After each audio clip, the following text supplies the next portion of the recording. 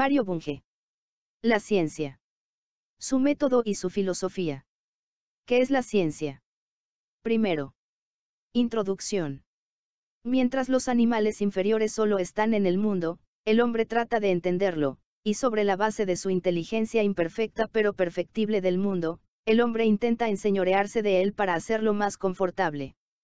En este proceso, construye un mundo artificial, ese creciente cuerpo de ideas llamado ciencia, que puede caracterizarse como conocimiento racional, sistemático, exacto, verificable y por consiguiente falible. Por medio de la investigación científica, el hombre ha alcanzado una reconstrucción conceptual del mundo que es cada vez más amplia, profunda y exacta. Un mundo le es dado al hombre, su gloria no es soportar o despreciar este mundo, sino enriquecerlo construyendo otros universos. Amasa y remoldea la naturaleza sometiéndola a sus propias necesidades animales y espirituales, así como a sus sueños, crea así el mundo de los artefactos y el mundo de la cultura. La ciencia como actividad, como investigación, pertenece a la vida social, en cuanto se la aplica al mejoramiento de nuestro medio natural y artificial, a la invención y manufactura de bienes materiales y culturales, la ciencia se convierte en tecnología. Sin embargo, la ciencia se nos aparece como la más deslumbrante y asombrosa de las estrellas de la cultura cuando la consideramos como un bien en sí mismo, esto es como una actividad productora de nuevas ideas, investigación científica. Tratemos de caracterizar el conocimiento y la investigación científicos tal como se los conoce en la actualidad. Segundo. Ciencia formal y ciencia fáctica. No toda la investigación científica procura el conocimiento objetivo. Así, la lógica y la matemática, esto es, los diversos sistemas de lógica formal y los diferentes capítulos de la matemática pura, son racionales, sistemáticos y verificables, pero no son objetivos, no nos dan informaciones acerca de la realidad, simplemente, no se ocupan de los hechos. La lógica y la matemática tratan de entes ideales, estos entes, tanto los abstractos como los interpretados, solo existen en la mente humana.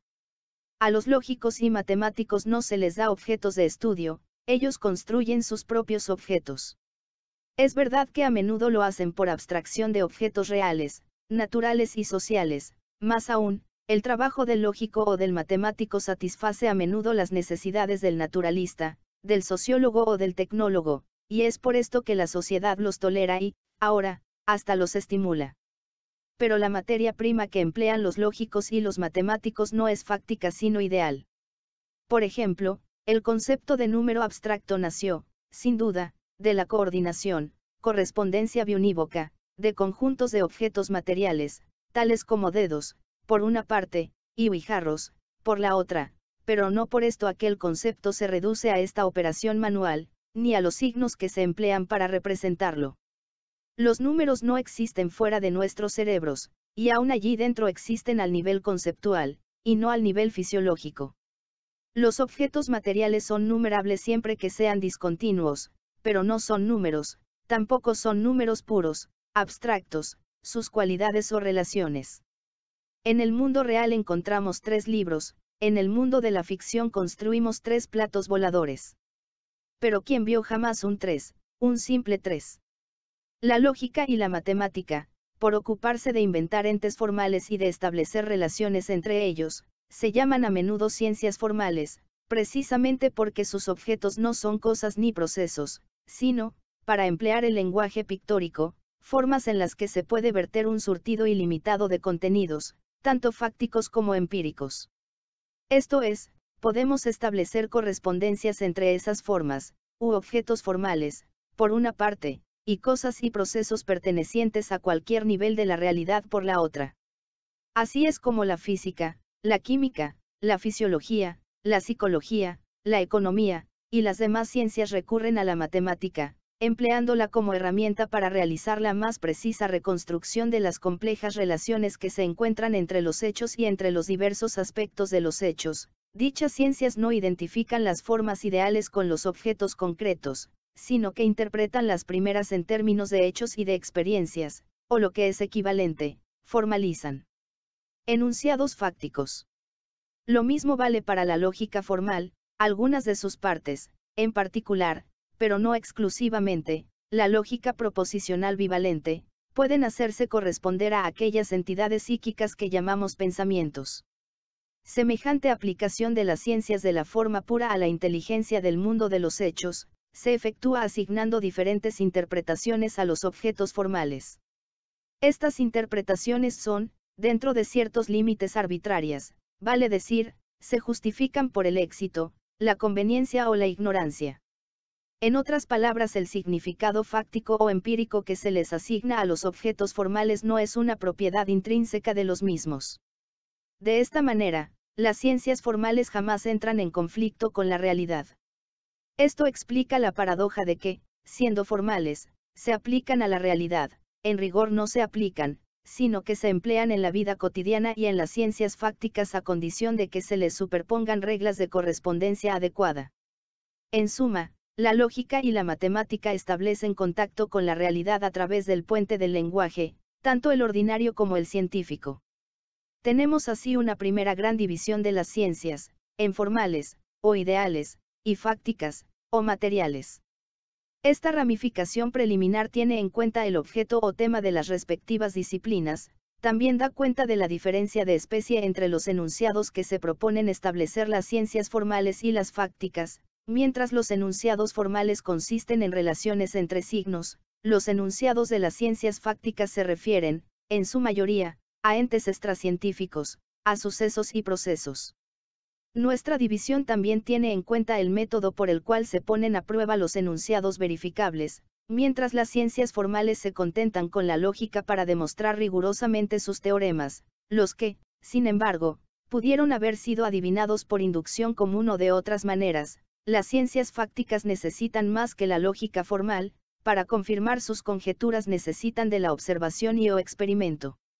En otras palabras, las ciencias fácticas tienen que mirar las cosas, siempre que les sea posible, deben procurar cambiarlas deliberadamente para intentar descubrir en qué medida sus hipótesis se adecúan a los hechos.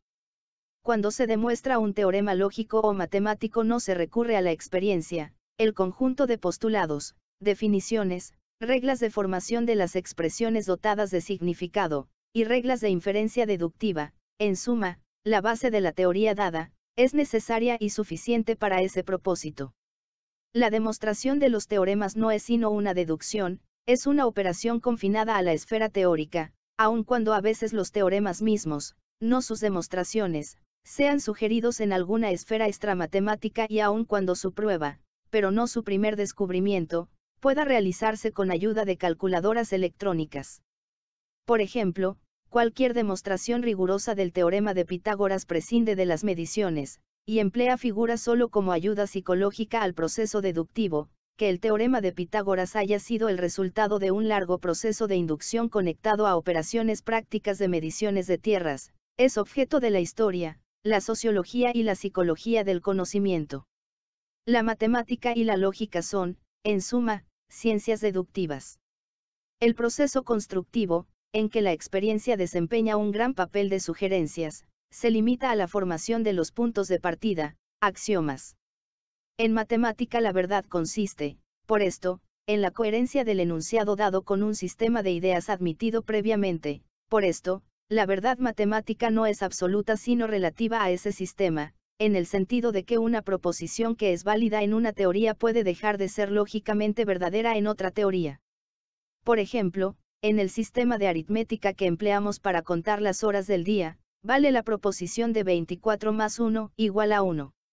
Más aún las teorías matemáticas abstractas, esto es, que contienen términos no interpretados, signos a los que no se atribuye un significado fijo, y que por lo tanto pueden adquirir distintos significados, pueden desarrollarse sin poner atención al problema de la verdad. Considérese el siguiente axioma de cierta teoría abstracta, no interpretada existe por lo menos un X tal que es F. Se puede dar un número ilimitado de interpretaciones, modelos, de este axioma, dándose a X y F otros tantos significados. Si decimos que S designa punto, obtenemos un modelo geométrico dado, si adoptamos la convención de que L designa número, obtenemos un cierto modelo aritmético, y así sucesivamente. En cuanto llenamos la forma vacía con un contenido específico, pero todavía matemático, obtenemos un sistema de entes lógicos que tienen el privilegio de ser verdaderos o falsos dentro del sistema dado de proposiciones, a partir de ahí tenemos que habérnoslas con el problema de la verdad matemática. Aún así tan solo las conclusiones, teoremas, tendrán que ser verdaderas, los axiomas mismos pueden elegirse a voluntad. La batalla se habrá ganado si se respeta la coherencia lógica, esto es, si no se violan las leyes del sistema de lógica que se ha convenido en usar. En las ciencias fácticas, la situación es enteramente diferente. En primer lugar, ellas no emplean símbolos vacíos, variables lógicas, sino tan solo símbolos interpretados, por ejemplo no involucran expresiones tales como, XSF, que no son verdaderas ni falsas. En segundo lugar, la racionalidad, esto es, la coherencia con un sistema de ideas aceptado previamente, es necesaria pero no suficiente para los enunciados fácticos, en particular la sumisión a algún sistema de lógica es necesaria pero no es una garantía de que se obtenga la verdad. Además de la racionalidad, exigimos de los enunciados de las ciencias fácticas que sean verificables en la experiencia, sea indirectamente, en el caso de las hipótesis generales, sea directamente, en el caso de las consecuencias singulares de las hipótesis. Únicamente después que haya pasado las pruebas de la verificación empírica podrá considerarse que un enunciado es adecuado a su objeto, o sea que es verdadero, y aún así hasta nueva orden. Por eso es que el conocimiento fáctico verificable se llama a menudo ciencia empírica. En resumidas cuentas, la coherencia es necesaria pero no suficiente en el campo de las ciencias de hechos. Para anunciar que un enunciado es probablemente verdadero se requieren datos empíricos, proposiciones acerca de observaciones o experimentos. En última instancia, solo la experiencia puede decirnos si una hipótesis relativa a cierto grupo de hechos materiales es adecuada o no. El mejor fundamento de esta regla metodológica que acabamos de enunciar es que la experiencia le ha enseñado a la humanidad que el conocimiento de hecho no es convencional, que si se busca la comprensión y el control de los hechos debe partirse de la experiencia pero la experiencia no garantizará que la hipótesis en cuestión sea la única verdadera, solo nos dirá que es probablemente adecuada, sin excluir por ello la posibilidad de que un estudio ulterior pueda dar mejores aproximaciones en la reconstrucción conceptual del trozo de realidad escogido. El conocimiento fáctico, aunque racional, es esencialmente probable, dicho de otro modo, la inferencia científica es una red de inferencias deductivas demostrativas y probables inconcluyentes. Las ciencias formales demuestran o prueban, las ciencias fácticas verifican, confirman o disconfirman, hipótesis que en su mayoría son provisionales. La demostración es completa y final, la verificación es incompleta y por eso temporaria. La naturaleza misma del método científico impide la confirmación final de las hipótesis fácticas. En efecto, los científicos no solo procuran acumular elementos de prueba de sus suposiciones multiplicando el número de casos en que ellas se cumplen, también tratan de obtener casos desfavorables a sus hipótesis, fundándose en el principio lógico de que una sola conclusión que no concuerde con los hechos tiene más peso que mil confirmaciones. Por ello, mientras las teorías formales pueden ser llevadas a un estado de perfección, o estancamiento, los sistemas relativos a los hechos son esencialmente defectuosos, cumplen, pues, la condición necesaria para ser perfectibles. En consecuencia, si el estudio de las ciencias formales vigoriza el hábito del rigor, el estudio de las ciencias fáctiles puede inducirnos a considerar el mundo como inagotable, y al hombre como una empresa inconclusa e interminable. Las diferencias de método, tipo de enunciados y referentes que separan las ciencias fácticas de las formales, impiden que se las examine conjuntamente más allá de cierto punto. Por ser una ficción seria, rigurosa y a menudo útil, pero ficción al cabo, la ciencia formal requiere un tratamiento especial. En lo que sigue nos concentraremos en la ciencia fáctica. Daremos un vistazo a las características peculiares de las ciencias de la naturaleza y de la cultura en su estado actual, con la esperanza de que la ciencia futura enriquezca sus cualidades o, al menos de que las civilizaciones por venir hagan mejor uso del conocimiento científico. Los rasgos esenciales del tipo de conocimiento que alcanzan las ciencias de la naturaleza y de la sociedad son la racionalidad y la objetividad. Por conocimiento racional se entiende a. que está constituido por conceptos, juicios y raciocinios y no por sensaciones, imágenes, pautas de conducta, etc.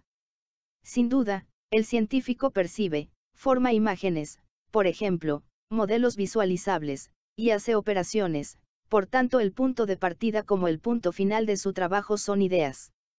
B. Que esas ideas pueden combinarse de acuerdo con algún conjunto de reglas lógicas con el fin de producir nuevas ideas, inferencia deductiva. Estas no son enteramente nuevas desde un punto de vista estrictamente lógico, puesto que están implicadas por las premisas de la deducción, pero no noseológicamente nuevas en la medida en que expresan conocimientos de los que no se tenía conciencia antes de efectuarse la deducción. C. Que esas ideas no se amontonan caóticamente o, simplemente en forma cronológica, sino que se organizan en sistemas de ideas, esto es en conjuntos ordenados de proposiciones, teorías. Que el conocimiento científico de la realidad es objetivo, significa a. que concuerda aproximadamente con su objeto, vale decir que busca alcanzar la verdad fáctica.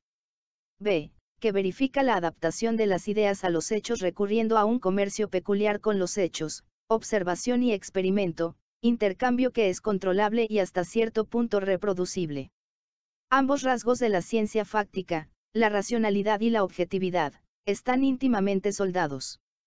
Así, por ejemplo, lo que usualmente se verifica por medio del experimento es alguna consecuencia, extraída por vía deductiva, de alguna hipótesis. Otro ejemplo, el cálculo no solo sigue a la observación sino que siempre es indispensable para planearla y registrarla. La racionalidad y objetividad del conocimiento científico pueden analizarse en un cúmulo de características a las que pasaremos revista en lo que sigue. Tercero. Inventario de las principales características de la ciencia fáctica.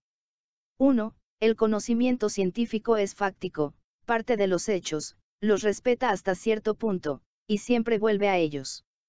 La ciencia intenta describir los hechos tal como son, independientemente de su valor emocional o comercial, la ciencia no poetiza los hechos ni los vende, si bien sus hazañas son una fuente de poesía y de negocios. En todos los campos, la ciencia comienza estableciendo los hechos, esto requiere curiosidad impersonal, desconfianza por la opinión prevaleciente, y sensibilidad a la novedad.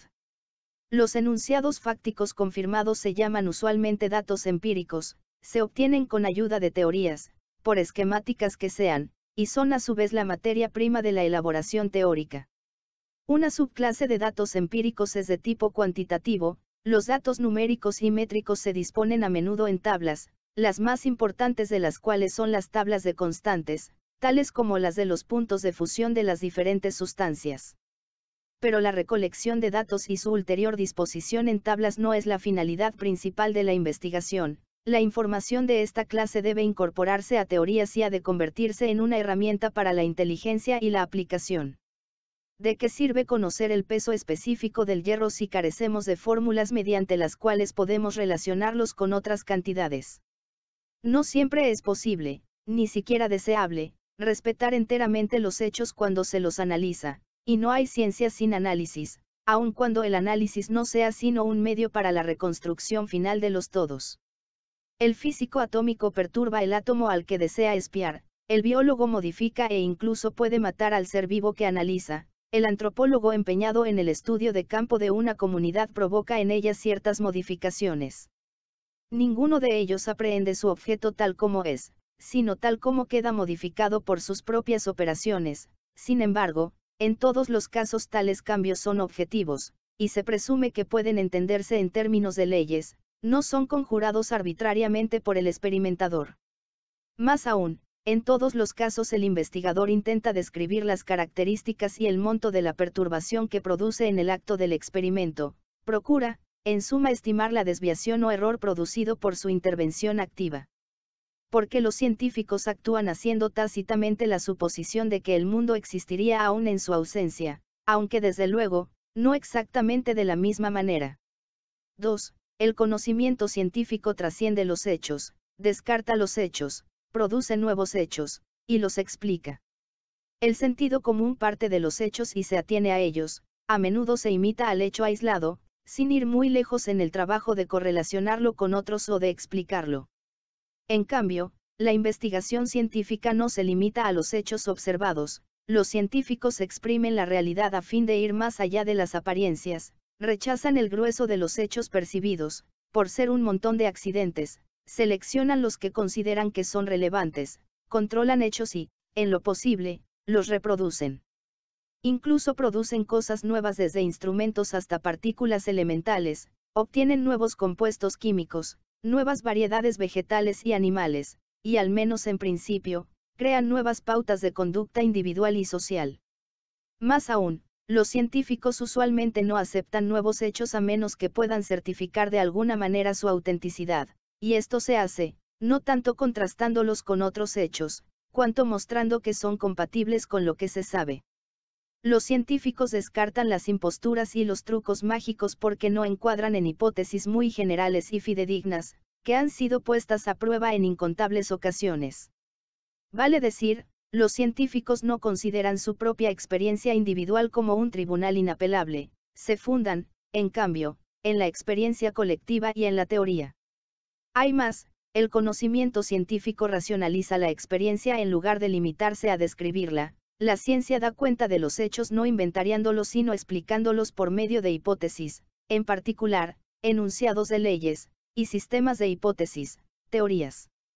Los científicos conjeturan lo que hay tras los hechos observados, y de continuo inventan conceptos, tales como los del átomo, campo, masa, energía, adaptación, integración, selección, clase social, o tendencia histórica, que carecen de correlato empírico, esto es, que no corresponden a preceptos, aun cuando presumiblemente se refieren a cosas, cualidades o relaciones existentes objetivamente. No percibimos los campos eléctricos o las clases sociales, inferimos su existencia a partir de hechos experimentables y tales conceptos son significativos tan solo en ciertos contextos teóricos. Este trascender la experiencia inmediata, ese salto del nivel observacional al teórico, le permite a la ciencia mirar con desconfianza los enunciados sugeridos por meras coincidencias, le permite predecir la existencia real de las cosas y procesos ocultos a primera vista pero que instrumentos, materiales o conceptuales, más potentes pueden descubrir. Las discrepancias entre las previsiones teóricas y los hallazgos empíricos figuran entre los estímulos más fuertes para edificar teorías nuevas y diseñar nuevos experimentos. No son los hechos por sí mismos sino su elaboración teórica y la comparación de las consecuencias de las teorías con los datos observacionales, la principal fuente del descubrimiento de nuevos hechos. 3. La ciencia es analítica, la investigación científica aborda problemas circunscriptos, uno a uno, y trata de descomponerlo todo en elementos, no necesariamente últimos o siquiera reales. La investigación científica no se planta cuestiones tales como cómo es el universo en su conjunto, o cómo es posible el conocimiento. Trata, en cambio, de entender toda situación total en términos de sus componentes, intenta descubrir los elementos que explican su integración. Los problemas de la ciencia son parciales y así son también, por consiguiente, sus soluciones, pero, más aún, al comienzo los problemas son estrechos o es preciso estrecharlos. Pero, a medida que la investigación avanza, su alcance se amplía. Los resultados de la ciencia son generales, tanto en el sentido de que se refieren a clases de objetos, por ejemplo, la lluvia, como en que están, o tienden a ser incorporados en síntesis conceptuales llamadas teorías. El análisis, tanto de los problemas como de las cosas, no es tanto un objetivo como una herramienta para construir síntesis teóricas. La ciencia auténtica no es atomista ni totalista. La investigación comienza descomponiendo sus objetos a fin de descubrir el mecanismo interno responsable de los fenómenos observados. Pero el desmontaje del mecanismo no se detiene cuando se ha investigado la naturaleza de sus partes, el próximo paso es el examen de la interdependencia de las partes, y la etapa final es la tentativa de reconstruir el todo en términos de sus partes interconectadas. El análisis no acarrea el descuido de la totalidad, lejos de disolver la integración, el análisis es la única manera conocida de descubrir cómo emergen, subsisten y se desintegran los todos. La ciencia no ignora la síntesis, lo que sí rechaza es la pretensión irracionalista de que las síntesis pueden ser aprehendidas por una intuición especial, sin previo análisis. 4. La investigación científica es especializada, una consecuencia del enfoque analítico de los problemas es la especialización. No obstante la unidad del método científico, su aplicación depende, en gran medida, del asunto, esto explica la multiplicidad de técnicas y la relativa independencia de los diversos sectores de la ciencia. Sin embargo, es menester no exagerar la diversidad de las ciencias al punto de borrar su unidad metodológica. El viejo dualismo materia-espíritu había sugerido la división de las ciencias en Naturwissenschaften, o ciencias de la naturaleza, y Geisteswissenschaften, o ciencias del espíritu. Pero estos géneros difieren en cuanto al asunto, a las técnicas y al grado de desarrollo, no así en lo que respecta al objetivo, método y alcance. El dualismo razón-experiencia había sugerido, a su vez, la división de las ciencias fácticas en racionales y empíricas. Menos sostenible aún es la dicotomía ciencias deductivas, ciencias inductivas, ya que toda empresa científica, sin excluir el dominio de las ciencias formales, es tan inductiva como deductiva, sin hablar de otros tipos de inferencia. La especialización no ha impedido la formación de campos interdisciplinarios tales como la biofísica, la bioquímica, la psicofisiología, la psicología social, la teoría de la información, la cibernética, o la investigación operacional. Con todo, la investigación tiende a estrechar la visión del científico individual, un único remedio ha resultado eficaz contra la unilateralidad profesional, y es una dosis de filosofía. 5. El conocimiento científico es claro y preciso, sus problemas son distintos, sus resultados son claros. El conocimiento ordinario, en cambio, usualmente es vago e inexacto, en la vida diaria nos preocupamos poco por definiciones precisas, descripciones exactas, o mediciones afinadas, si éstas nos preocuparan demasiado, no lograríamos marchar al paso de la vida. La ciencia torna impreciso lo que el sentido común conoce de manera nebulosa, pero, desde luego la ciencia es mucho más que sentido común organizado, aunque proviene del sentido común, la ciencia constituye una rebelión contra su vaguedad y superficialidad. El conocimiento científico procura la precisión, nunca está enteramente libre de vaguedades, pero se las ingenia para mejorar la exactitud, nunca está del todo libre de error, pero posee una técnica única para encontrar errores y para sacar provecho de ellos. La claridad y la precisión se obtienen en ciencia de las siguientes maneras.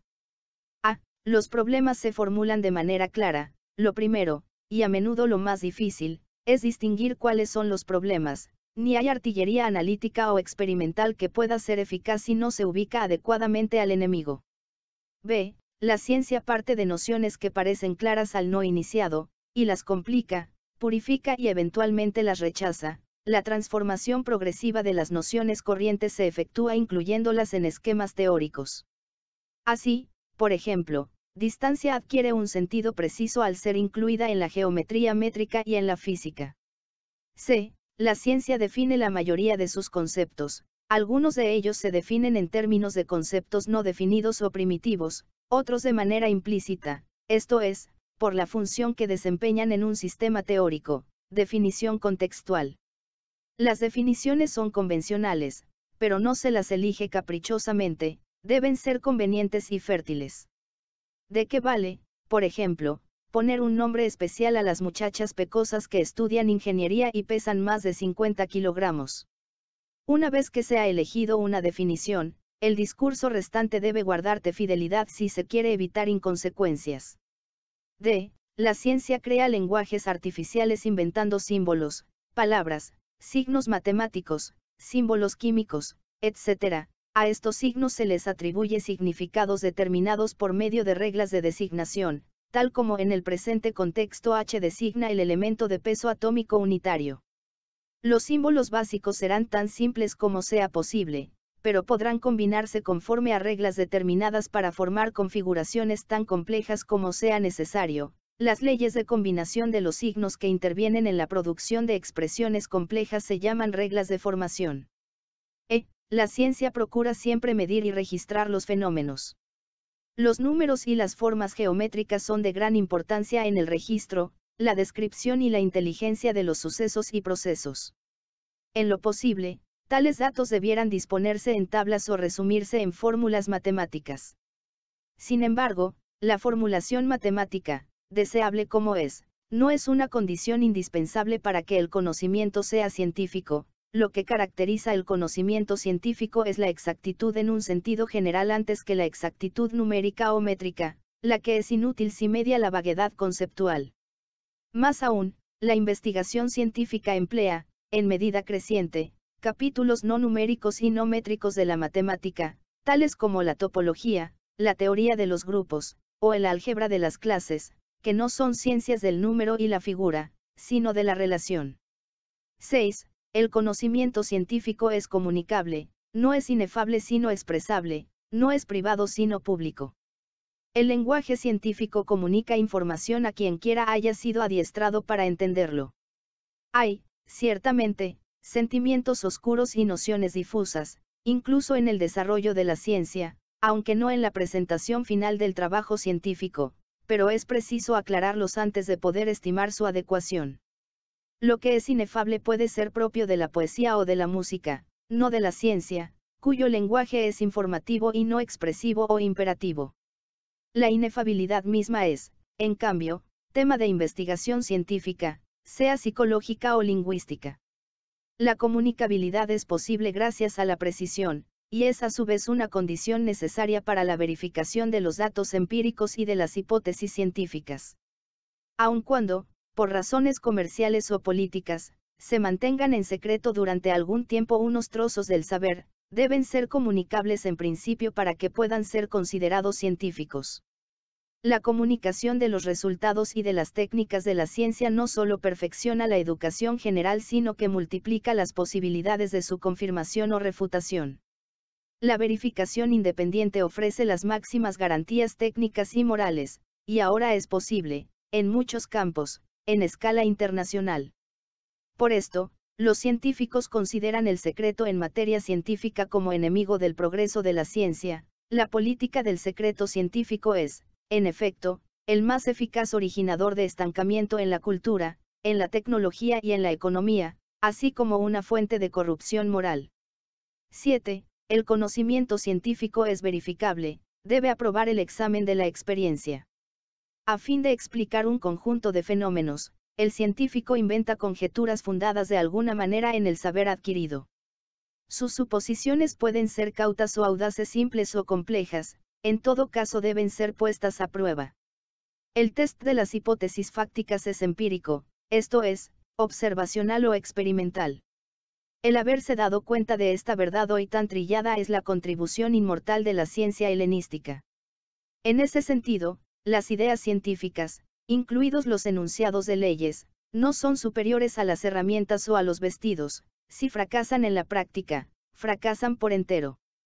La experimentación puede calar más profundamente que la observación, porque efectúa cambios en lugar de limitarse a registrar variaciones, aísla y controla las variables sensibles o pertinentes. Sin embargo, los resultados experimentales son pocas veces interpretables de una sola manera.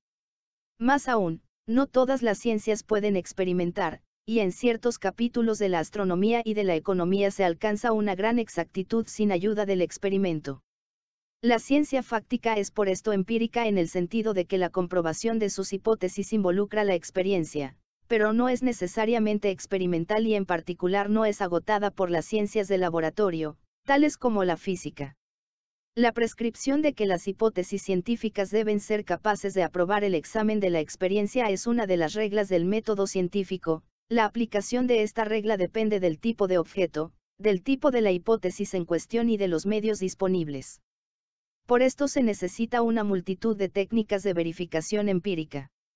La verificación de la fórmula de un compuesto químico se hace de manera muy diferente que la verificación de un cálculo astronómico o de una hipótesis concerniente al pasado de las rocas o de los hombres. Las técnicas de verificación evolucionan en el curso del tiempo, sin embargo, siempre consisten en poner a prueba consecuencias particulares de hipótesis generales, entre ellas, enunciados de leyes. Siempre se reducen a mostrar que hay, o que no hay, algún fundamento para creer que las suposiciones en cuestión corresponden a los hechos observados o a los valores medidos. La verificabilidad hace a la esencia del conocimiento científico, si así no fuera, no podría decirse que los científicos procuran alcanzar conocimiento objetivo. 8. La investigación científica es metódica, no es errática sino planeada. Los investigadores no tantean en la oscuridad, saben lo que buscan y cómo encontrarlo. El planeamiento de la investigación no excluye el azar, solo que, a hacer un lugar a los acontecimientos imprevistos es posible aprovechar la interferencia del azar y la novedad inesperada. Más aún a veces el investigador produce el azar deliberadamente.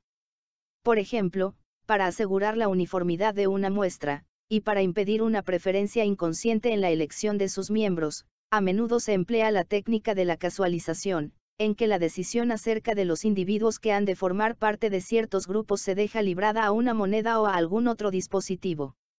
De esta manera, el investigador pone el azar al servicio de orden, en lo cual no hay paradoja, porque el acaso opera al nivel de los individuos, al par que el orden opera en el grupo con totalidad. Todo trabajo de investigación se funda sobre el conocimiento anterior, y en particular sobre las conjeturas mejor confirmadas. Uno de los muchos problemas de la metodología es, precisamente averiguar cuáles son los criterios para decidir si una hipótesis dada puede considerarse razonablemente confirmada, eso es, si el peso que le acuerdan los fundamentos inductivos y de otro orden basta para conservarla.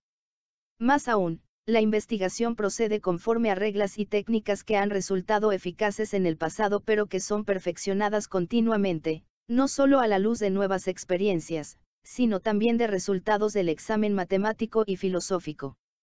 Una de las reglas de procedimiento de la ciencia fáctica es la siguiente, las variables relevantes, o que se sospecha que son sensibles, debieran variarse una cada vez.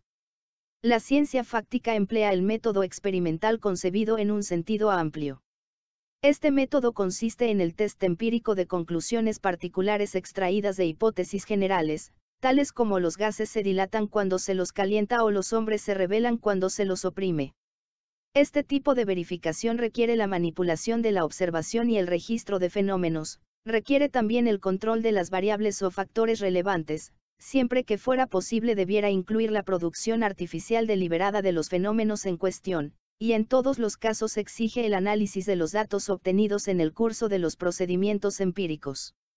Los datos aislados y crudos son inútiles y no son dignos de confianza, es preciso elaborarlos, organizarlos y confrontarlos con las conclusiones teóricas. El método científico no provee recetas infalibles para encontrar la verdad, solo contiene un conjunto de prescripciones falibles, perfectibles, para el planeamiento de observaciones y experimentos, para la interpretación de sus resultados, y para el planteo mismo de los problemas. Es, en suma, la manera en que la ciencia inquiere en lo desconocido. Subordinadas a las reglas generales del método científico, y al mismo tiempo en apoyo de ellas, encontramos las diversas técnicas que se emplean en las ciencias especiales, las técnicas para pesar, para observar por el microscopio, para analizar compuestos químicos, para dibujar gráficos que resumen datos empíricos, para reunir informaciones acerca de costumbres, etc. La ciencia es, pues, esclava de sus propios métodos y técnicas mientras estos tienen éxito, pero es libre de multiplicar y de modificar en todo momento sus reglas, en aras de mayor racionalidad y objetividad.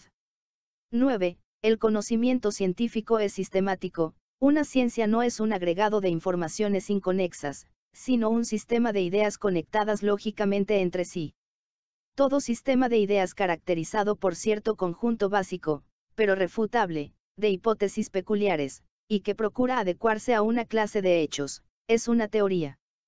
Todo capítulo de una ciencia especial contiene teorías o sistemas de ideas que están relacionadas lógicamente entre sí, esto es, que están ordenadas mediante la relación implica.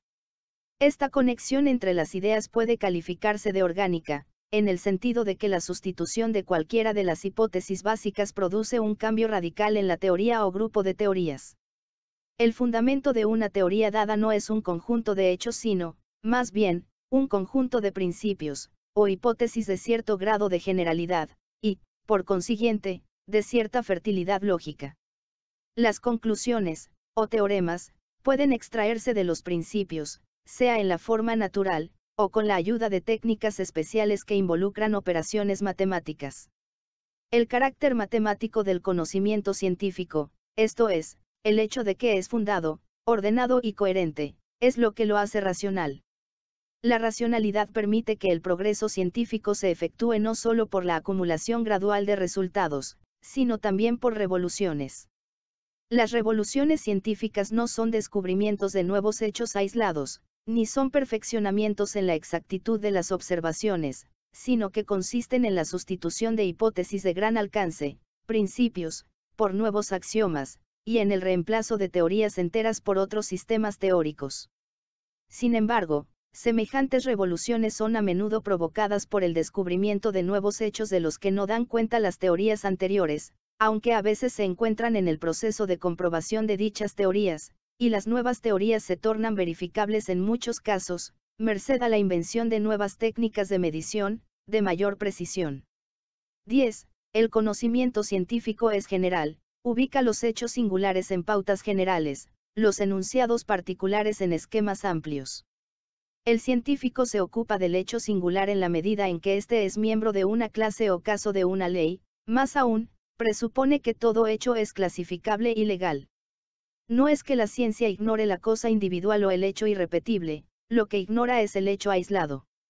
Por esto la ciencia no se sirve de los datos empíricos, que siempre son singulares, como tales, estos son mudos mientras no se los manipula y convierte en piezas de estructuras teóricas. En efecto, uno de los principios ontológicos que subyacen a la investigación científica es que la variedad y aún la unicidad en algunos respectos son compatibles con la uniformidad y la generalidad en otros respectos. Al químico no le interesa esta o aquella hoguera, sino el proceso de combustión en general, trata de descubrir lo que comparten todos los singulares. El científico intenta exponer los universales que se esconden en el seno de los propios singulares, es decir, no considera los universales ante rem ni post rem sino in re, en la cosa, y no antes o después de ella. Los escolásticos medievales clasificarían al científico moderno como realista inmanentista, porque, al descartar los detalles al procurar descubrir los rasgos comunes a individuos que son únicos en otros respectos, al buscar las variables pertinentes, o cualidades esenciales, y las relaciones constantes entre ellas, las leyes, el científico intenta exponer la naturaleza esencial de las cosas naturales y humanas. El lenguaje científico no contiene solamente términos que designan hechos singulares y experiencias individuales, sino también términos generales que se refieren a clases de hechos. La generalidad del lenguaje de la ciencia no tiene, sin embargo, el propósito de alejar a la ciencia de la realidad concreta, por el contrario, la generalización es el único medio que se conoce para adentrarse en lo concreto, para apresar la esencia de las cosas, sus cualidades y leyes esenciales. Con esto, el científico evita en cierta medida las confusiones y los engaños provocados por el flujo deslumbrador de los fenómenos. Tampoco se asfixia la utilidad en la generalidad, por el contrario, los esquemas generales de la ciencia encuadran una cantidad ilimitada de casos específicos, proveen leyes de amplio alcance que incluyen y corrigen todas las recetas válidas de sentido común y de la técnica precientífica. 11. El conocimiento científico es legal, busca leyes, de la naturaleza y de la cultura, y las aplica. El conocimiento científico inserta los hechos singulares en pautas generales llamadas leyes naturales o leyes sociales.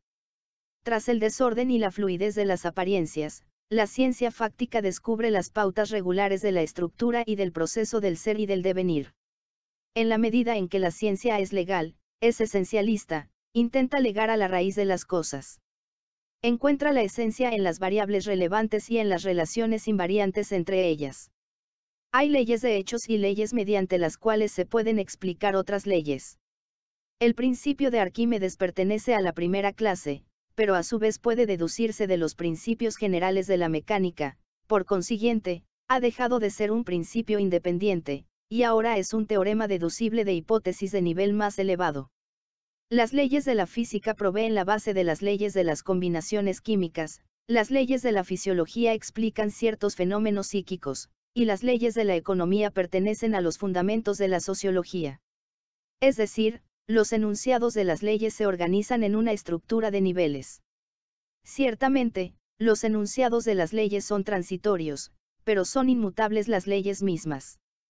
Si se considera a las leyes como las pautas mismas del ser y del devenir, entonces debieran cambiar junto con las cosas mismas, por lo menos, debe admitirse que, al emerger nuevos niveles, sus cualidades peculiares se relacionan entre sí mediante nuevas leyes. Por ejemplo, las leyes de la economía han emergido en el curso de la historia sobre la base de otras leyes, biológicas y psicológicas, y, más aún, algunas de ellas cambian con el tipo de organización social. Por supuesto, no todos los hechos singulares conocidos han sido ya convertidos en casos particulares de leyes generales, en particular los sucesos y procesos de los niveles superiores han sido legalizados solo en pequeña medida. Pero esto se debe en parte al antiguo prejuicio de que lo humano no es legal, así como a la antigua creencia pitagórica de que solamente las relaciones numéricas merecen llamarse leyes científicas. Debiera emplearse el stock íntegro de las herramientas conceptuales en la búsqueda de las leyes de la mente y de la cultura, más aún, ¿acaso el stock de que se dispone es insuficiente y sea preciso inventar herramientas radicalmente nuevas para tratar los fenómenos mentales y culturales, tal como el nacimiento de la mecánica moderna hubiera sido imposible sin la invención expresa del cálculo infinitesimal? Pero el ulterior avance en el progreso de la legalización de los fenómenos no físicos requiere por sobre todo, una nueva actitud frente al concepto mismo de ley científica. En primer lugar, es preciso comprender que hay muchos tipos de leyes, aun dentro de una misma ciencia, ninguno de los cuales es necesariamente mejor que los tipos restantes. En segundo lugar, debiera tornarse un lugar común entre los científicos de la cultura el que las leyes no se encuentran por mera observación y el simple registro sino poniendo a prueba hipótesis, los enunciados de leyes no son, en efecto, sino hipótesis confirmadas. ¿Y cómo habríamos de emprender la confección de hipótesis científicas si no presumiéramos que todo hecho singular es legal? 12. La ciencia es explicativa, intenta explicar los hechos en términos de leyes, y las leyes en términos de principios. Los científicos no se conforman con descripciones detalladas, además de inquirir cómo son las cosas, procuran responder al por qué, porque ocurren los hechos como ocurren y no de otra manera. La ciencia deduce proposiciones relativas a hechos singulares a partir de leyes generales, y deduce las leyes a partir de enunciados nomológicos aún más generales, principios. Por ejemplo, las leyes de Kepler explicaban una colección de hechos observados del movimiento planetario, y Newton explicó esas leyes deduciéndolas de principios generales explicación que permitió a otros astrónomos dar cuenta de las irregularidades de las órbitas de los planetas que eran desconocidas para Kepler. Solía creerse que explicar es señalar la causa, pero en la actualidad se reconoce que la explicación causal no es sino un tipo de explicación científica. La explicación científica se efectúa siempre en términos de leyes, y las leyes causales no son sino una subclase de las leyes científicas. Hay diversos tipos de leyes científicas y, por consiguiente, hay una variedad de tipos de explicación científica, morfológicas, cinemáticas, dinámicas, de composición, de conservación, de asociación, de tendencias globales, dialécticas, teleológicas, etc. La historia de la ciencia enseña que las explicaciones científicas se corrigen o descartan sin cesar. ¿Significa esto que son todas falsas? En las ciencias fácticas, la verdad y el error no son del todo ajenos entre sí, hay verdades parciales y errores parciales, hay aproximaciones buenas y otras malas. La ciencia no obra como Penélope, sino que emplea la tela tejida ayer. Las explicaciones científicas no son finales pero son perfectibles. 13. El conocimiento científico es predictivo, trasciende la masa de los hechos de experiencia, imaginando cómo puede haber sido el pasado y cómo podrá ser el futuro. La predicción es, en primer lugar, una manera eficaz de poner a prueba las hipótesis, pero también es la clave del control y aún de la modificación del curso de los acontecimientos. La predicción científica en contraste con la profecía se funda sobre leyes y sobre informaciones específicas fidedignas, relativas al estado de cosas actual o pasado. No es del tipo ocurrirá, e, sino más bien de este otro, ocurrirá, e uno siempre que suceda se uno, pues siempre que sucede se es seguido por o está asociado con e. C y E designan clases de sucesos en tanto que C1 y E1 denotan los hechos específicos que se predicen sobre la base de lo los enunciados que conectan a C con E en general. La predicción científica se caracteriza por su perfectibilidad antes que por su certeza. Más aún, las predicciones que se hacen con la ayuda de reglas empíricas son a veces más exactas que las predicciones penosamente elaboradas con herramientas científicas, leyes, informaciones específicas y deducciones, Tal es el caso con frecuencia de los pronósticos meteorológicos, de la prognosis médica y de la profecía política. Pero en tanto que la profecía no es perfectible y no puede usarse para poner a prueba hipótesis, la predicción es perfectible y, si falla, nos obliga a corregir nuestras suposiciones, alcanzando así una inteligencia más profunda. Por esto la profecía exitosa no es un aporte al conocimiento teórico, en tanto que la predicción científica fallida puede contribuir a él. Puesto que la predicción científica depende de leyes y de ítems de información específica, puede fracasar por inexactitud de los enunciados de las leyes o por imprecisión de la información disponible. También puede fallar, por supuesto, debido a errores cometidos en el proceso de inferencia lógica o matemática que conduce de las premisas, leyes e informaciones, a la conclusión, enunciado predictivo. Una fuente importante de fallos en la predicción es el conjunto de suposiciones acerca de la naturaleza del objeto, sistema físico, organismo vivo, grupo social, etc., cuyo comportamiento ha de predecirse. Por ejemplo, puede ocurrir que creamos que el sistema en cuestión está suficientemente aislado de las perturbaciones exteriores, cuando en rigor éstas cuentan a la larga, Dado que la aislación es una condición necesaria de la descripción del sistema con ayuda de un puñado de enunciados de leyes, no debiera sorprender que fuera tan difícil predecir el comportamiento de sistemas abiertos tales como el océano, la atmósfera, el ser vivo o el hombre. Puesto que la predicción científica se funda en las leyes científicas, hay tantas clases de predicciones como clases de enunciado nomológicos. Algunas leyes nos permiten predecir resultados individuales, aunque no sin error si la predicción se refiere al valor de una cantidad. Otras leyes, incapaces de decirnos nada acerca del comportamiento de los individuos, átomos, personas, etc., son en cambio la base para la predicción de algunas tendencias globales y propiedades colectivas de colecciones numerosas de elementos similares, son las leyes estadísticas. Las leyes de la historia son de este tipo, y por esto es casi imposible la predicción de los sucesos individuales en el campo de la historia, pudiendo preverse solamente el curso general de los acontecimientos. 14. La ciencia es abierta, no reconoce barreras a priori que limiten el conocimiento. Si un conocimiento fáctico no es refutable en principio, entonces no pertenece a la ciencia sino a algún otro campo. Las nociones acerca de nuestro medio, natural o social, o acerca del yo, no son finales, están todas en movimiento, todas son falibles.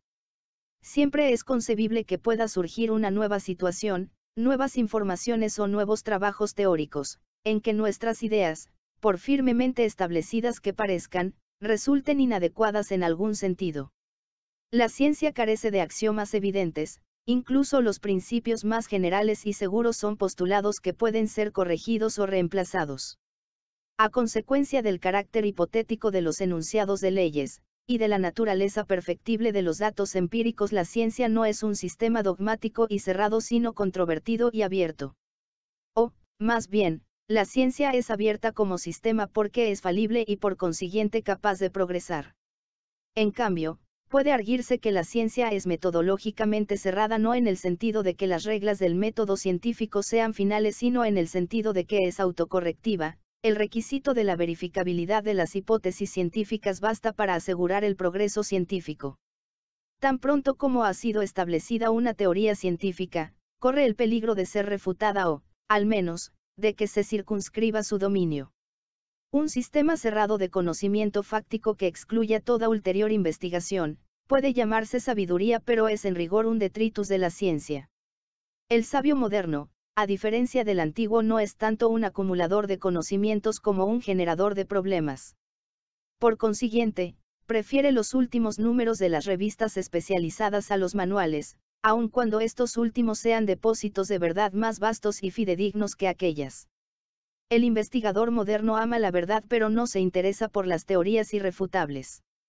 Una teoría puede haber permanecido intocada no tanto por su alto contenido de verdad cuanto porque nadie la ha usado. No se necesita emprender una investigación empírica para probar la tautología de que ni siquiera los científicos se casan con solteronas. Los modernos sistemas de conocimiento científico son como organismos en crecimiento, mientras están vivos cambian sin pausa. Esta es una de las razones por las cuales la ciencia es éticamente valiosa, porque nos recuerda que la corrección de errores es tan valiosa como el no cometerlos y que probar cosas nuevas e inciertas es preferible a rendir culto a las viejas y garantizadas. La ciencia, como los organismos, cambia a la vez internamente y debido a sus contactos con sus vecinos, esto es, resolviendo sus problemas específicos y siendo útil en otros campos. 15. La ciencia es útil, porque busca la verdad. La ciencia es eficaz en la provisión de herramientas para el bien y para el mal. El conocimiento ordinario se ocupa usualmente de lograr resultados capaces de ser aplicados en forma inmediata, con ello no es suficientemente verdadero, con lo cual no puede ser suficientemente eficaz. Cuando se dispone de un conocimiento adecuado de las cosas es posible manipularlas con éxito. La utilidad de la ciencia es una consecuencia de su objetividad, sin proponerse necesariamente alcanzar resultados aplicables, la investigación los provee a la corta o a la larga. La sociedad moderna paga la investigación porque ha aprendido que la investigación rinde. Por este motivo, es redundante exhortar a los científicos a que produzcan conocimientos aplicables, no pueden dejar de hacerlo. Es cosa de los técnicos emplear el conocimiento científico con fines prácticos, y los políticos son los responsables de que la ciencia y la tecnología se empleen en beneficio de la humanidad. Los científicos pueden, a lo sumo, aconsejar acerca de cómo puede hacerse uso racional, eficaz y bueno de la ciencia. La técnica precientífica era primordialmente una colección de recetas pragmáticas no entendidas, muchas de las cuales desempeñaban la función de ritos mágicos. La técnica moderna es, en medida creciente, aunque no exclusivamente, ciencia aplicada. La ingeniería es física y química aplicadas, la medicina es biología aplicada, la psiquiatría es psicología y neurología aplicadas, y debiera llegar el día en que la política se convierta en sociología aplicada. Pero la tecnología es más que ciencia aplicada, en primer lugar porque tiene sus propios procedimientos de investigación, adaptados a circunstancias concretas que distan de los casos puros que estudia la ciencia. En segundo lugar, porque toda rama de la tecnología contiene un cúmulo de reglas empíricas descubiertas antes que los principios científicos en los que, si dichas reglas se confirman, terminan por ser absorbidas. La tecnología no es meramente el resultado de aplicar el conocimiento científico existente a los casos prácticos, la tecnología viva es esencialmente, el enfoque científico de los problemas prácticos, es decir, el tratamiento de estos problemas sobre un fondo de conocimiento científico y con ayuda del método científico. Por eso la tecnología, sea de las cosas nuevas o de los hombres, es fuente de conocimientos nuevos. La conexión de la ciencia con la tecnología no es por consiguiente asimétrica. Todo avance tecnológico plantea problemas científicos cuya solución puede consistir en la invención de nuevas teorías o de nuevas técnicas de investigación que conduzcan a un conocimiento más adecuado y a un mejor dominio del asunto. La ciencia y la tecnología constituyen un ciclo de sistemas interactuantes que se alimentan el uno al otro. El científico torna inteligible lo que hace el técnico y éste provee a la ciencia de instrumentos y de comprobaciones, y lo que es igualmente importante el técnico no cesa de formular preguntas al científico añadiendo así un motor externo al motor interno del progreso científico. La continuación de la vida sobre la Tierra depende del ciclo de carbono, los animales se alimentan de plantas, las que a su vez obtienen su carbono de lo que exhalan los animales.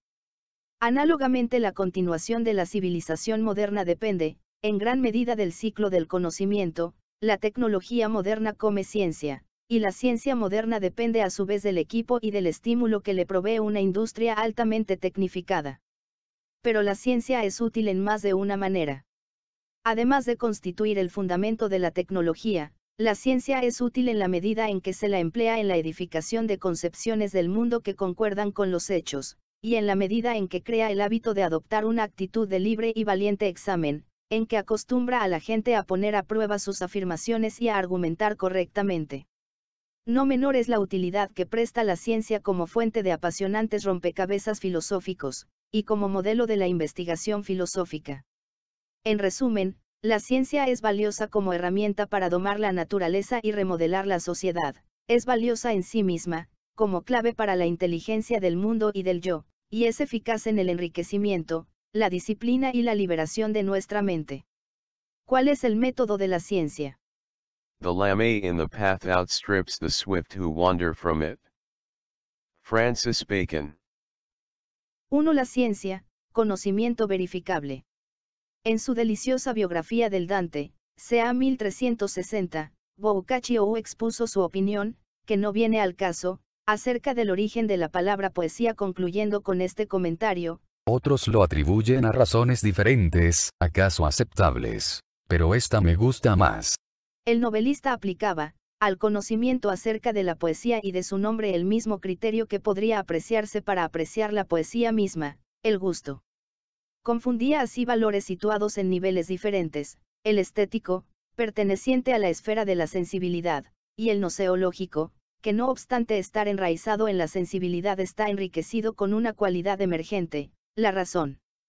Semejante confusión no es exclusiva de poetas, incluso Hume, en una obra célebre por su crítica mortífera de varios dogmas tradicionales escogió el gusto como criterio de verdad. En su Treatise of Human Nature, 1739, puede leerse, no es solo en poesía y en música que debemos seguir nuestro gusto, sino también en la filosofía, que en aquella época incluía también a la ciencia. Cuando estoy convencido de algún principio, no es sino una idea que me golpea, strikes, con mayor fuerza. Cuando prefiero un conjunto de argumentos por sobre otros, no hago sino decidir, sobre la base de mi sentimiento, acerca de la superioridad de su influencia. El subjetivismo era así la playa en que desembarcaba la teoría psicologista de las ideas inaugurada por el empirismo de Locke. El recurso al gusto no era, por supuesto, peor que el argumento de autoridad, criterio de verdad que ha mantenido enjaulado al pensamiento durante tanto tiempo y con tanta eficacia. Desgraciadamente, la mayoría de la gente, y hasta la mayoría de los filósofos, aún creen, u obran como si creyeran, que la manera correcta de decir el valor de verdad de un enunciado es someterlo a la prueba de algún texto, es decir, verificar si es compatible con, o deducible de, frases más o menos célebres tenidas por verdades eternas, o sea, principios infalibles de alguna escuela de pensamiento. En efecto, son demasiados los argumentos filosóficos que se ajustan al siguiente molde, X está equivocado, porque lo que dice contradice lo que escribió el maestro Y, o bien el Xismo es falso porque sus tesis son incompatibles con las proposiciones fundamentales de Yeísmo. Los dogmáticos, antiguos y modernos fuera y dentro de la profesión científica, maliciosos o no, obran de esta manera aun cuando no desean convalidar creencias que simplemente no pueden ser comprobadas, sea empíricamente, sea racionalmente. Porque dogma es, por definición, toda opinión no confirmada de la que no se exige verificación porque se la supone verdadera y, más aún, se la supone fuente de verdades ordinarias. Otro criterio de verdad igualmente difundido ha sido la evidencia. Según esta opinión, verdadero es aquello que parece aceptable a primera vista, sin examen ulterior, aquello, en suma, que se intuye. Así, Aristóteles afirmaba que la intuición aprehende las premisas primarias de todo discurso, y es por ello la fuente que origina el conocimiento científico. No solo Berson, Husserl y muchos otros intuicionistas e irracionalistas han compartido la opinión de que las esencias pueden cogerse sin más, también el racionalismo ingenuo, tal como el que sostenía Descartes, afirma que hay principios evidentes que, lejos de tener que someterse a prueba alguna, son la piedra de toque de toda otra proposición, sea formal o fáctica. Finalmente, otros han favorecido las verdades vitales, o las mentiras vitales, esto es, las afirmaciones que se creen o no por conveniencia, independientemente de su fundamento racional y diagonal o empírico. Es el caso de Nietzsche y los pragmatistas posteriores, todos los cuales han exagerado el indudable valor instrumental del conocimiento fáctico, al punto de afirmar que la posesión de la verdad, lejos de ser, un fin en sí, es solo un medio preliminar para alcanzar otras satisfacciones vitales, de dónde verdadero es sinónimo de útil. Pregúntese a un científico si cree que tiene derecho a suscribir una afirmación en el campo de las ciencias tan solo porque le guste, o porque la considere un dogma inexpugnable o porque a él le parezca evidente, o porque la encuentre conveniente. Probablemente conteste más o menos así. Ninguno de esos presuntos criterios de verdad garantiza la objetividad, y el conocimiento objetivo es la finalidad de la investigación científica. Lo que se acepta solo por gusto o por autoridad, o por parecer evidente, habitual, o por conveniencia, no es sino creencia u opinión, pero no es conocimiento científico. El conocimiento científico es a veces desagradable, a menudo contradice a los clásicos, sobre todo si es nuevo, en ocasiones tortura al sentido común y humilla a la intuición. Por último, puede ser conveniente para algunos y no para otros. En cambio aquello que caracteriza al conocimiento científico es su verificabilidad. Siempre es susceptible de ser verificado, confirmado o disconfirmado. 2. Veracidad y verificabilidad. Obsérvese que no pretendemos que el conocimiento científico, por contraste con el ordinario, el tecnológico o el filosófico, sea verdadero. Ciertamente lo es con frecuencia, y siempre intenta serlo más y más. Pero la veracidad, que es un objetivo, no caracteriza el conocimiento científico de manera tan inequívoca como el modo, medio o método por el cual la investigación científica plantea problemas y pone a prueba las soluciones propuestas. En ocasiones, puede alcanzarse una verdad con solo consultar un texto. Los propios científicos recurren a menudo a un argumento de autoridad atenuada, lo hacen siempre que emplean datos, empíricos o formales, obtenidos por otros investigadores, cosa que no pueden dejar de hacer, pues la ciencia moderna es, cada vez más, una empresa social. Pero, por grande que sea la autoridad que se atribuye a una fuente, jamás se la considera infalible, si se aceptan sus datos, es solo provisionalmente y porque se presume que han sido obtenidos con procedimientos que concuerdan con el método científico, de manera que son reproducibles por quien quiera que se disponga a aplicar tales procedimientos. En otras palabras, un dato será considerado verdadero hasta cierto punto, siempre que pueda ser confirmado de manera compatible con los cánones del método científico. En consecuencia, para que un trozo de saber merezca ser llamado científico, no basta, ni siquiera es necesario, que sea verdadero. Debemos saber, en cambio, cómo hemos llegado a saber, o a presumir, que el enunciado en cuestión es verdadero, debemos ser capaces de enumerar las operaciones, empíricas o racionales, por las cuales es verificable, confirmable o disconfirmable, de una manera objetiva al menos en principio. Esta no es sino una cuestión de nombres, quienes no deseen que se exija la verificabilidad del conocimiento deben abstraerse de llamar científicas a sus propias creencias, aun cuando lleven bonitos nombres con raíces griegas. Se las invita cortésmente a bautizarlas con nombres más impresionantes, tales como reveladas, evidentes, absolutas, vitales, necesarias para la salud del Estado, indispensables para la victoria del partido, etc. Ahora bien, para verificar un enunciado, porque las proposiciones, y no los hechos, son verdaderas y falsas y pueden, por consiguiente, ser verificadas, no basta la contemplación y ni siquiera el análisis. Comprobamos nuestras afirmaciones confrontándolas con otros enunciados. El enunciado confirmatorio, o disconfirmatorio, que puede llamarse el verificans, dependerá del conocimiento disponible y de la naturaleza de la proposición dada, la que puede llamarse verificandum. Los enunciados confirmatorios serán enunciados referentes a la experiencia si lo que se somete a prueba es una afirmación fáctica, esto es, un enunciado acerca de hechos, sean experimentados o no. Observemos, de pasada, que el científico tiene todo el derecho de especular acerca de hechos inexperienciales, esto es, hechos que en una etapa del desarrollo del conocimiento están más allá de alcance de la experiencia humana, pero entonces está obligado a señalar las experiencias que permiten inferir tales hechos inobservados o aún inobservables, vale decir tiene la obligación de anclar sus enunciados fácticos en experiencias conectadas de alguna manera con los hechos transempíricos que supone.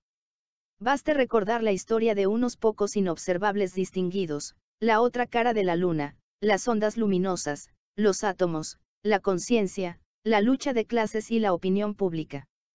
En cambio, si lo que se ha verificado no es una proposición referente al mundo exterior sino un enunciado respecto al comportamiento de signos, tal como por ejemplo 2 más 3 igual a 5, entonces los enunciados confirmatorios serán definiciones, axiomas, y reglas que se adoptan por una razón cualquiera, por ejemplo, porque son fecundas en la organización de los conceptos disponibles y en la elaboración de nuevos conceptos. En efecto, la verificación de afirmaciones pertenecientes al dominio de las formas, lógica y matemática, no requiere otro instrumento material que el cerebro, solo la verdad fáctica, como en el caso de la Tierra es redonda, requiere la observación o el experimento. Resumiendo, la verificación de enunciados formales solo incluye operaciones racionales, en tanto que las proposiciones que comunican información acerca de la naturaleza o de la sociedad han de ponerse a prueba por ciertos procedimientos empíricos tales como el recuento o la medición. Pues, aunque el conocimiento de los hechos no provienen de la experiencia pura, por ser la teoría un componente indispensable de la recolección de informaciones fácticas, no hay otra manera de verificar nuestras sospechas que recurrir a la experiencia, tanto pasiva como activa. 3. Las proposiciones generales verificables, hipótesis científicas. La descripción que antecede satisfará, probablemente, a cualquier científico contemporáneo que reflexione sobre su propia actividad. Pero no resolverá la cuestión para el metacientífico o epistemólogo, para quien los procedimientos, las normas y a veces hasta los resultados de la ciencia son otros tantos problemas. En efecto, el metacientífico no puede dejar de preguntarse cuáles son las afirmaciones verificables, cómo se llega a afirmarlas, cómo se las comprueba, y en qué condiciones puede decirse que han sido confirmadas. Tratemos de esbozar una respuesta a estas preguntas. En primer lugar, si hemos de tratar el problema de la verificación, debemos averiguar qué se puede verificar, ya que no toda afirmación, ni siquiera toda afirmación significativa, es verificable. Así, por ejemplo, las definiciones nominales, tales como América es el continente situado al oeste de Europa, se aceptan o rechazan sobre la base del gusto, de la conveniencia, etc., pero no pueden verificarse, y ello simplemente porque no son verdaderas ni falsas. Por ejemplo, si convenimos en llamar norte-sur a la dirección que toma normalmente la aguja de una brújula, semejante nombre puede gustarnos o no, pero es inverificable, no es sino un nombre, no se funda sobre elemento de prueba alguno y ninguna operación podría confirmarlo o disconfirmarlo. En cambio lo que puede confirmarse o disconfirmarse es una afirmación fáctica que contenga a ese término tal como la quinta avenida corre de sur a norte. La verificación de esa afirmación es posible, y puede hacerse con la ayuda de una brújula. No solo las definiciones nominales sino también las afirmaciones acerca de fenómenos sobrenaturales son inverificables, puesto que por definición trascienden todo cuanto está a nuestro alcance, y no se las puede poner a prueba con ayuda de la lógica ni de la matemática. Las afirmaciones acerca de la sobrenaturaleza son inverificables no porque no se refieran a hechos, pues a veces pretenden hacerlo, sino porque no se dispone de método alguno mediante el cual se podrá decidir cuál es su valor de verdad. En cambio, muchas de ellas son perfectamente significativas para quien se tome el trabajo de ubicarlas en su contexto sin pretender reducirlas, por ejemplo, a conceptos científicos. La verificación torna más exacto el significado, pero no produce significado alguno. Más bien al contrario, la posesión de un significado determinado es una condición necesaria para que una proposición sea verificable. Pues, ¿cómo habríamos de disponernos a comprobar lo que no entendemos? Ahora bien, los enunciados verificables son de muchas clases. Hay proposiciones singulares tales como este trozo de hierro está caliente, particulares o existenciales, tales como algunos trozos de hierro están calientes, que es verificablemente falsa. Hay, además, enunciados de leyes, tales como todos los metales se dilatan con el calor, o mejor, para todo X, si X es un trozo de metal que se calienta, entonces X se dilata. Las proposiciones singulares y particulares pueden verificarse a menudo de manera inmediata, con la sola ayuda de los sentidos o eventualmente, con el auxilio de instrumentos que amplíen su alcance, pero otras veces exigen operaciones complejas que implican enunciados de leyes y cálculos matemáticos, como es el caso de la distancia media entre la Tierra y el Sol es de unos 1.500 millones de kilómetros. Cuando un enunciado verificable posee un grado de generalidad suficiente, habitualmente se lo llama hipótesis científica. O, lo que es equivalente, cuando una proposición general, particular o universal, puede verificarse solo de manera indirecta, esto es, por el examen de algunas de sus consecuencias, es conveniente llamarla hipótesis científica.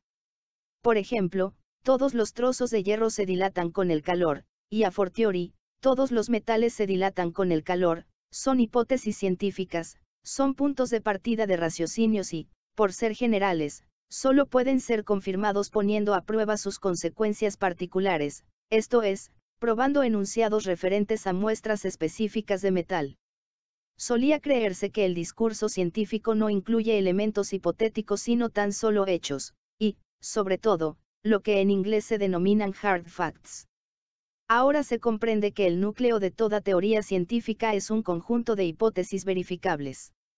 Las hipótesis científicas son, por una parte, remates de cadenas inferenciales no demostrativas, analógicas o inductivas, más o menos oscuras, por otra parte, son puntos de partida de cadenas deductivas cuyos últimos eslabones, los más próximos a los sentidos, en el caso de la ciencia fáctica, deben pasar la prueba de la experiencia. Más aún, habitualmente se concuerda en que debiera llamarse hipótesis no solo a las conjeturas de ensayo, sino también a las suposiciones razonablemente confirmadas o establecidas, pues probablemente no hay enunciados fácticos generales perfectos. La experiencia ha sugerido adoptar este sentido de la palabra hipótesis. Considérese, por ejemplo, la ley de Newton de la gravedad, que ha sido confirmada en casi todos los casos con una precisión asombrosa.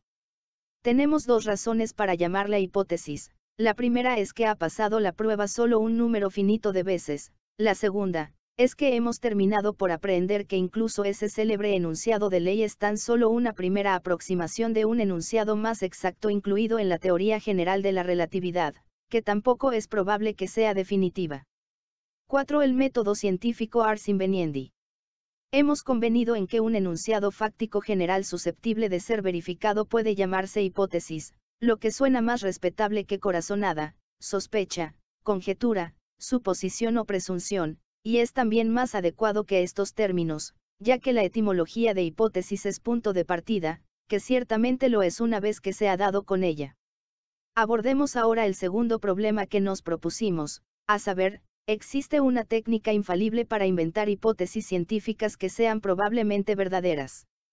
En otras palabras, existe un método, en el sentido cartesiano de conjunto de reglas ciertas y fáciles que nos conduzca a enunciar verdades fácticas de gran extensión. Muchos hombres, en el curso de muchos siglos, han creído en la posibilidad de descubrir la técnica del descubrimiento, y de inventar la técnica de la invención. Fue fácil bautizar al niño no nacido, y se lo hizo con el nombre de Ars Inveniendi. Pero semejante arte jamás fue inventado. Lo que es más, podría arguirse que jamás se lo inventará, a menos que se modifique radicalmente la definición de ciencia, en efecto, el conocimiento científico por oposición a la sabiduría revelada, es esencialmente falible, esto es, susceptible de ser parcial o aún totalmente refutado. La falibilidad del conocimiento científico, y, por consiguiente, la imposibilidad de establecer reglas de oro que nos conduzcan derechamente a verdades finales, no es sino el complemento de aquella verificabilidad que habíamos encontrado en el núcleo de la ciencia. Vale decir, no hay reglas infalibles que garanticen por anticipado el descubrimiento de nuevos hechos y la invención de nuevas teorías, asegurando así la fecundidad de la investigación científica, la certidumbre debe buscarse tan solo en las ciencias formales. Significa esto que la investigación científica es errática e ilegal, y por consiguiente que los científicos lo esperan todo de la intuición o de la iluminación. Tal es la moraleja que algunos científicos y filósofos eminentes han extraído de la inexistencia de leyes que nos aseguren contra la infertilidad y el error. Por ejemplo, Bridgman, el expositor del operacionismo, ha negado la existencia del método científico, sosteniendo que la ciencia es lo que hacen los científicos, y hay tantos métodos científicos como hombres de ciencia. Es verdad que en ciencia no hay caminos reales, que la investigación se abre camino en la selva de los hechos, y que los científicos sobresalientes elaboran su propio estilo de pesquisa. Sin embargo, esto no debe hacernos desesperar de la posibilidad de descubrir pautas, normalmente satisfactorias de plantear problemas y poner a prueba hipótesis. Los científicos que van en pos de la verdad no se comportan ni como soldados que cumplen obedientemente las reglas de la ordenanza, opiniones de Bacon y Descartes, ni como los caballeros de Mark Twain, que cabalgaban en cualquier dirección para llegar a Tierra Santa, opinión de Bridgman. No hay avenidas hechas en ciencia, pero hay en cambio una brújula mediante la cual a menudo es posible estimar si se está sobre una huella promisoria. Esta brújula es el método científico, que no produce automáticamente el saber, pero que nos evita perdernos en el caos aparente de los fenómenos, aunque solo sea porque nos indica cómo no plantear los problemas y cómo no sucumbir al embrujo de nuestros prejuicios predilectos. La investigación no es errática sino metódica, solo que no hay una sola manera de sugerir hipótesis, sino muchas maneras, las hipótesis no se nos imponen por la fuerza de los hechos, sino que son inventadas para dar cuenta de los hechos. Es verdad que la invención no es ilegal, sino que sigue ciertas pautas, pero estas son psicológicas antes que lógicas, son peculiares de los diversos tipos intelectuales, y, por añadidura, los conocemos poco, porque apenas se los investiga. Hay, ciertamente, reglas que facilitan la invención científica, y en especial la formulación de hipótesis, entre ellas figuran las siguientes, el sistemático reordenamiento de los datos, la supresión imaginaria de factores con el fin de descubrir las variables relevantes, el obstinado cambio de representación en busca de analogías fructíferas. Sin embargo, las reglas que favorecen o entorpecen el trabajo científico no son de oro sino plásticas, más aún, el investigador rara vez tiene conciencia del camino que ha tomado para formular sus hipótesis. Por esto la investigación científica puede planearse a grandes líneas y no en detalle, y aún menos puede ser regimentada. Algunas hipótesis se formulan por vía inductiva, esto es, como generalizaciones sobre la base de la observación de un puñado de casos particulares. Pero la inducción dista de ser la única o siquiera la principal de las vías que conducen a formular enunciados generales verificables. Otras veces, el científico opera por analogía, por ejemplo la teoría ondulatoria de la luz le fue sugerida a Huygens 1690 por una comparación con las olas.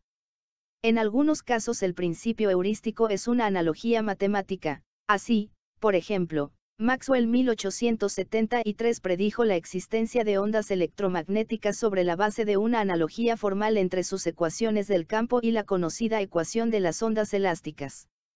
Ocasionalmente, el investigador es guiado por consideraciones filosóficas, así fue como procedió Orsted 1820, buscó deliberadamente una conexión entre la electricidad y el magnetismo, obrando sobre la base de la convicción a priori de que la estructura de todo cuanto existe es polar, y que todas las fuerzas de la naturaleza están conectadas orgánicamente entre sí. La convicción filosófica de que la complejidad de la naturaleza es ilimitada le llevó a Bohm a especular sobre un nivel subcuántico, fundándose en una analogía con el movimiento browniano clásico. Ni siquiera la fantasía teológica ha dejado de contribuir, aunque por cierto en mínima medida, recuérdese el principio de la mínima acción de Maupertuis 1747, formulado en la creencia de que el Creador lo había dispuesto todo de la manera más económica posible.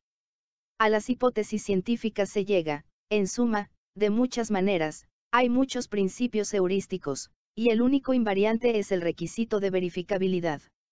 La inducción, la analogía y la deducción de suposiciones extracientíficas, por ejemplo filosóficas, proveen puntos de partida que deben ser elaborados y probados.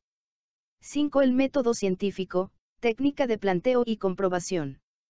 Los especialistas científicos habitualmente no se interesan por el problema de la génesis de las hipótesis científicas, esta cuestión es de competencia de las diversas ciencias de la ciencia.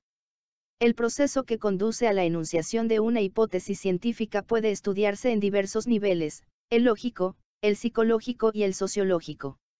El lógico se interesará por la inferencia plausible como conexión inversa, no deductiva, entre proposiciones singulares y generales. El psicólogo investigará la etapa de la iluminación o relámpago en el proceso de resolución de los problemas, etapa en que se produce la síntesis de elementos anteriormente inconexos, también se propondrá estudiar fenómenos tales como los estímulos e inhibiciones que caracterizan al trabajo en equipo. El sociólogo inquirirá por qué determinada estructura social favorece ciertas clases de hipótesis mientras desalienta a otras. El metodólogo, en cambio, no se ocupará de la génesis de las hipótesis, sino del planteo de los problemas que las hipótesis intentan resolver y de su comprobación. El origen del nexo entre el planteo y la comprobación, esto es, el surgimiento de la hipótesis, se lo deja a otros especialistas. El motivo es, nuevamente, una cuestión de nombres, lo que hoy se llama método científico no es ya una lista de recetas para dar con las respuestas correctas a las preguntas científicas, sino el conjunto de procedimientos por los cuales, a. se plantean los problemas científicos y, b. se ponen a prueba las hipótesis científicas. El estudio del método científico es, en una palabra, la teoría de la investigación.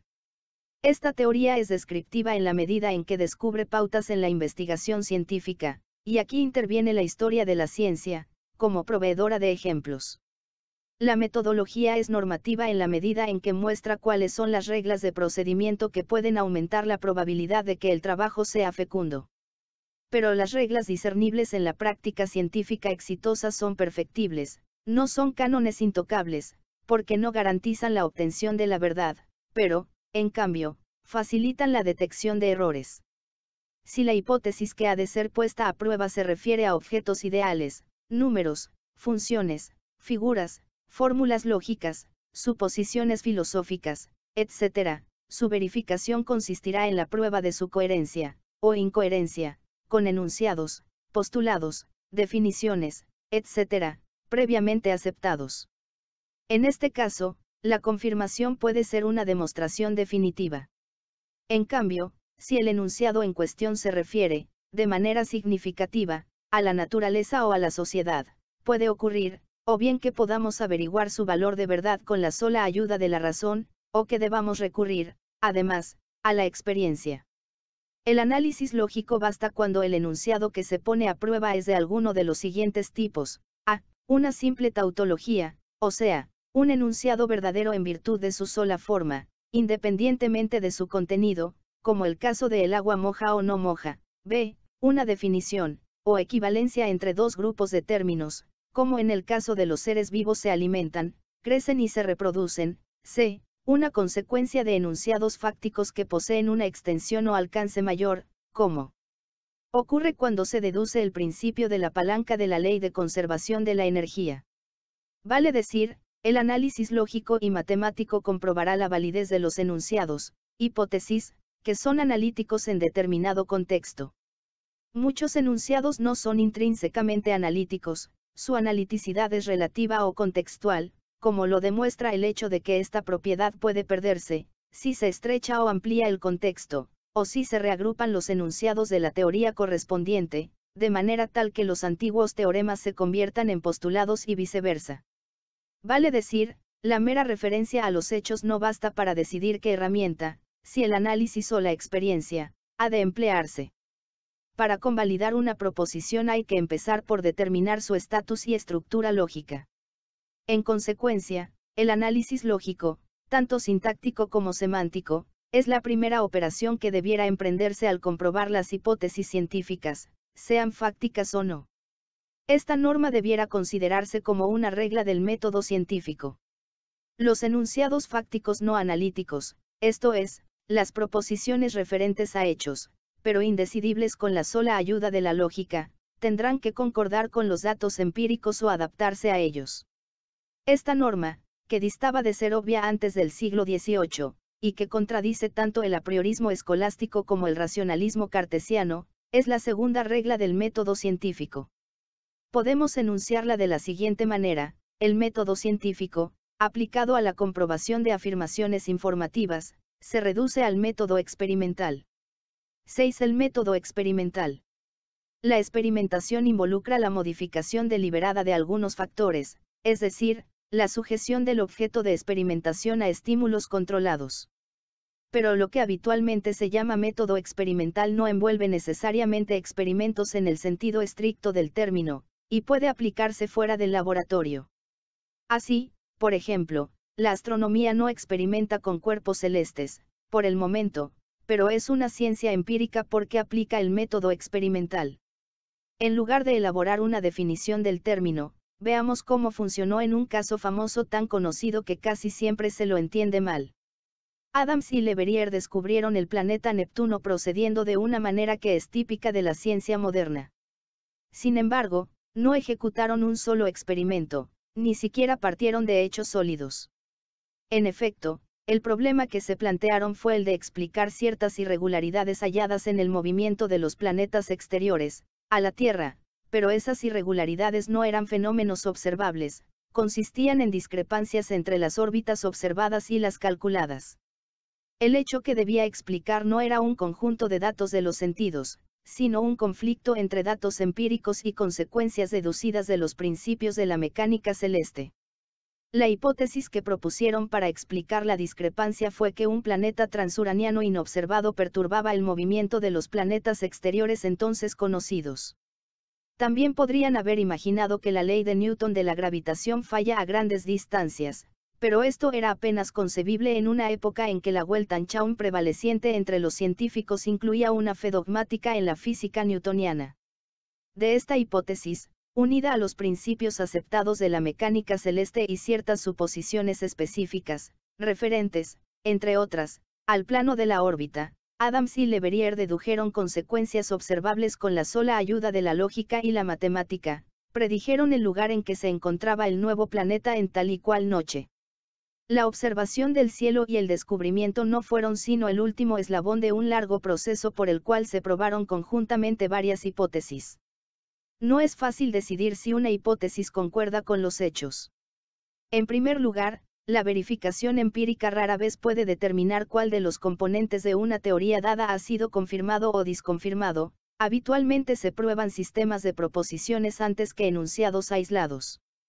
Pero la principal dificultad proviene de la generalidad de las hipótesis científicas.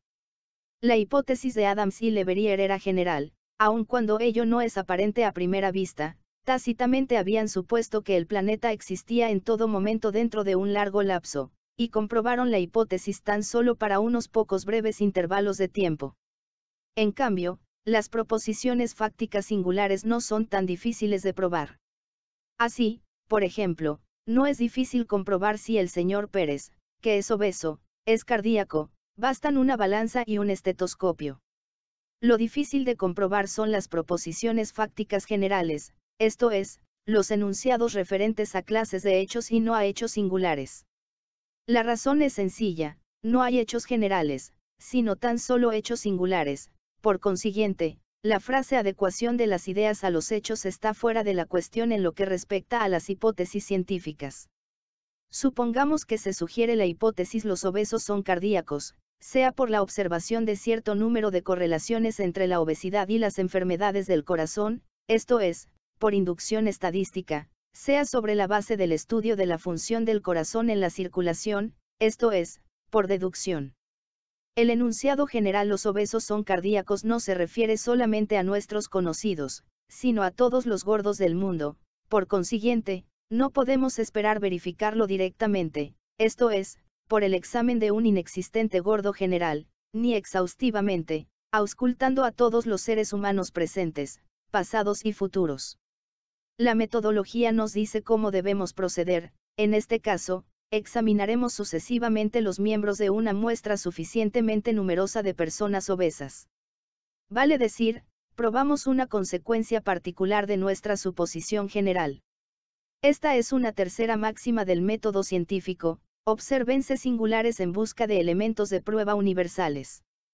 Hasta aquí todo parece sencillo, pero los problemas relacionados con la prueba real distan de ser triviales, y algunos de ellos no han sido resueltos satisfactoriamente.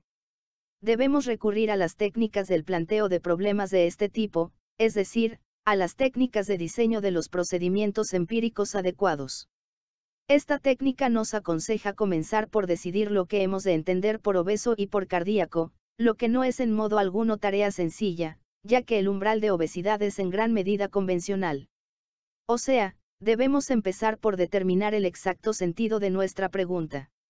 Y esta es una cuarta regla del método científico, a saber, formúlese preguntas precisas. Luego procederemos a elegir la técnica experimental, clase de balanza, tipo de examen de corazón, etc., y la manera de registrar datos y de ordenarlos. Además debemos decidir el tamaño de la muestra que habremos de observar y la técnica de escoger sus miembros, con el fin de asegurar que será una fiel representante de la población total. Solo una vez realizadas estas operaciones preliminares podremos visitar al señor Pérez y a los demás miembros de la muestra, con el fin de reunir datos. Y aquí se nos muestra una quinta regla del método científico, la recolección y el análisis de datos deben hacerse conforme a las reglas de la estadística.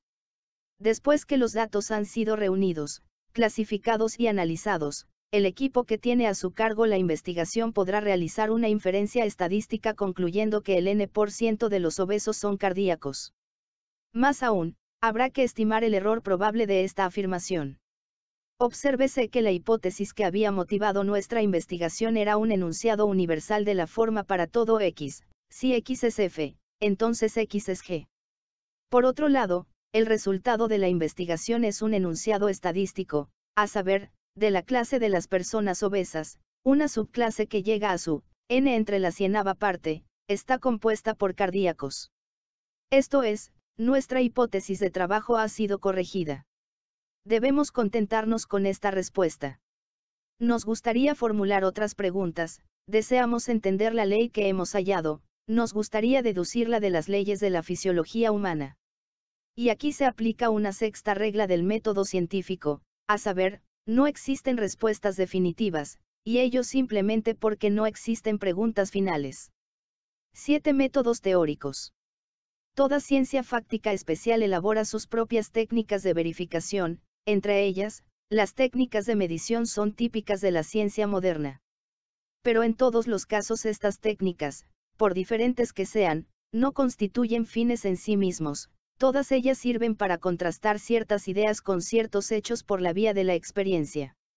O, si se prefiere, el objetivo de las técnicas de verificación es probar enunciados referentes a hechos por vía del examen de proposiciones referentes a la experiencia, y en particular, al experimento. Este es el motivo por el cual los experimentadores no tienen por qué construir cada uno de sus aparatos e instrumentos, pero deben en cambio diseñarlos y diagonal o usarlos a fin de poner a prueba ciertas afirmaciones. Las técnicas especiales, por importantes que sean, no son sino etapas de la aplicación del método experimental, que no es otra cosa que el método científico en relación con la ciencia fáctica, y la ciencia, por fáctica que sea, no es un montón de hechos sino un sistema de ideas. En el párrafo anterior ejemplificamos el método experimental analizando el proceso de verificación que requeriría el enunciado los obesos son cardíacos, encontramos que esta hipótesis requería una precisión cuantitativa, y después de una investigación imaginaria adoptamos, en su lugar, cierta generalización empírica del tipo de los enunciados estadísticos. Ahora bien, las generalizaciones empíricas tan caras a Aristóteles y a Bacon, y aun cuando se las formule en términos estadísticos, no son distintivas de la ciencia moderna. El tipo de hipótesis característico de la ciencia moderna no es el de los enunciados descriptivos aislados cuya función principal es resumir experiencias. Lo peculiar de la ciencia moderna es que consiste en su mayor parte en teorías explicativas, es decir, en sistemas de proposiciones que pueden clasificarse en principios, leyes, definiciones, etc., y que están vinculadas entre sí mediante conectivas lógicas, tales como y, o, sí, entonces, etc. Las teorías dan cuenta de los hechos no solo describiéndolos de manera más o menos exacta, sino también proveyendo modelos conceptuales de los hechos, en cuyos términos puede explicarse y predecirse, al menos en principio, cada uno de los hechos de una clase. Las posibilidades de una hipótesis científica no se advierten por entero antes de incorporarlas en una teoría, y es solo entonces cuando puede encontrársele varios soportes. Al sumergirse en una teoría, el enunciado dado es apoyado, o aplastado, por toda la masa del saber disponible, permaneciendo aislado es difícil de confirmar y de refutar y, sobre todo, sigue sin ser entendido. La conversión de las generalizaciones empíricas en leyes teóricas envuelve trascender la esfera de los fenómenos y el lenguaje observacional, ya no se trata de hacer afirmaciones acerca de hechos observables, sino de adivinar su mecanismo interno, el que, desde luego no tiene por qué ser mecánico. Supóngase que un psicólogo desea estudiar las correlaciones entre cierto estímulo observable S y cierta conducta observable R, que, a modo de ensayo, considera como la respuesta al estímulo dado. Si, después de una sucesión de experimentos, llegara a confirmar su hipótesis de trabajo y deseara trascender las fronteras de la psicología fenomenista, intentaría elaborar, digamos, un modelo neurológico que explicara el nexo SR en términos fisiológicos. No es tarea fácil, el psicólogo tiene que inventar diversas hipótesis acerca de otros tantos canales nerviosos posibles que conecten los hechos observables extremos, SYR análogamente. Los físicos atómicos imaginan diversos mecanismos ocultos que conectan los fenómenos macroscópicos con su soporte microscópico. Pero nuestro psicólogo no andará del todo a tientas, podrá probar si su conexión concuerda con algunos de los esquemas pavlovianos de los reflejos, o con cualquier otro mecanismo. Cada una de sus hipótesis, sea que consistan en suponer que interviene un reflejo innato o condicionado, tendrá que especificar el aparato receptor, el nervio aferente, la estación central, el nervio eferente, el órgano receptor, etc. Más aún, sus varias hipótesis de trabajo tendrán que ser compatibles con el saber más firmemente establecido, aunque no inamovible, y tendrán que ser puestas a prueba mediante técnicas especiales, excitación o destrucción de nervios, registro de impulsos nerviosos, etc. Vale la pena emprender esta difícil tarea, la eventual confirmación de una de las hipótesis puestas a prueba no solo explicará el nexo SR dado, sino que también lo ubicará en su contexto, además, apoyará la hipótesis misma de que tal nexo no es accidental. Pues, aunque suene a paradoja, un enunciado fáctico es tanto más fidedigno cuanto mejor está apoyado por consideraciones teóricas. Es importante advertir, en efecto, que la experiencia dista de ser el único juez de las teorías fácticas, o siquiera el último. Las teorías se contrastan con los hechos y con otras teorías. Por ejemplo, una de las pruebas de la generalización de una teoría dada es averiguar si la nueva teoría se reduce a la vieja dentro de un cierto dominio, de modo tal que cubra por lo menos el mismo grupo de hechos. Más aún, el grado de sustentación o apoyo de las teorías no es idéntico a su grado de confirmación. Las teorías no se constituyen ex nihilo, sino sobre ciertas bases, estas las sostienen antes y después de la prueba, la prueba misma, si tiene éxito, provee los apoyos restantes de la teoría y fija su grado de confirmación. Aún así el grado de confirmación de una teoría no basta para determinar la probabilidad de la misma. 8. En qué se apoya una hipótesis científica. Una hipótesis de contenido fáctico no solo es sostenida por la confirmación empírica de cierto número de sus consecuencias particulares, por ejemplo predicciones. Las hipótesis científicas están incorporadas en teorías o tienden a incorporarse en ellas, y las teorías están relacionadas entre sí, constituyendo la totalidad de ellas la cultura intelectual. Por esto, no debiera sorprender que las hipótesis científicas tengan soportes no solo científicos, sino también extracientíficos, los primeros son empíricos y racionales, los últimos son psicológicos y culturales. Expliquémonos. Cuanto más numerosos sean los hechos que confirman una hipótesis, cuanto mayor sea la precisión con que ella reconstruye los hechos, y cuanto más vastos sean los nuevos territorios que ayuda a explorar, tanto más firme será nuestra creencia en ella, esto es, tanto mayor será la probabilidad que le asignemos. Esto es, esquemáticamente dicho, lo que se entiende por el soporte empírico de las hipótesis fácticas. Pero la experiencia disponible no puede ser considerada como inapelable, en primer lugar, porque nuevas experiencias pueden mostrar la necesidad de un remiendo, en segundo término, porque la experiencia científica no es pura, sino interpretada, y toda interpretación se hace en términos de teorías, motivo por el cual la primera reacción de los científicos experimentados ante informaciones sobre hechos que parecerían trastornar teorías establecidas es de escepticismo. Cuanto más estrecho sea el acuerdo de la hipótesis en cuestión con el conocimiento disponible de mismo orden, tanto más firme es nuestra creencia en ella, Semejante concordancia es particularmente valiosa cuando consiste en una compatibilidad con enunciados de leyes. Esto es lo que hemos designado con el nombre de soporte racional de las hipótesis fácticas. Este es, dicho sea de paso, el motivo por el cual la mayoría de los científicos desconfían de los informes acerca de la llamada percepción extrasensorial, porque los llamados fenómenos ahí contradicen el cuerpo de hipótesis psicológicas y fisiológicas bien establecidas. En resumen, las teorías científicas deben adecuarse, sin duda, a los hechos, pero ningún hecho aislado es aceptado en la comunidad de los hechos controlados científicamente a menos que tenga cabida en alguna parte del edificio teórico establecido. Desde luego, el soporte racional no es garantía de verdad, si lo fuera, las teorías fácticas serían invulnerables a la experiencia. Los soportes empíricos y racionales de las hipótesis fácticas son interdependientes. En cuanto a los soportes extracientíficos de las hipótesis científicas, uno de ellos es de carácter psicológico, influye sobre nuestra elección de las suposiciones y sobre el valor que le asignamos a su concordancia con los hechos. Por ejemplo, los sentimientos estéticos que provocan la simplicidad y la unidad lógica estimulan unas veces y otras obstaculizan la investigación sobre la validez de las teorías. Esto es lo que hemos denominado el soporte psicológico de las hipótesis fácticas, a menudo es oscuro, y no solo está vinculado a características personales, sino también sociales. Lo que hemos llamado soporte cultural de las hipótesis fácticas consiste en su compatibilidad con alguna concepción del mundo, y en particular, con la zeitgeist prevaleciente. Es obvio que tendemos a asignar mayor peso a aquellas hipótesis que congenian con nuestro fondo cultural y, en particular, con nuestra visión del mundo, que aquellas hipótesis que lo contradicen.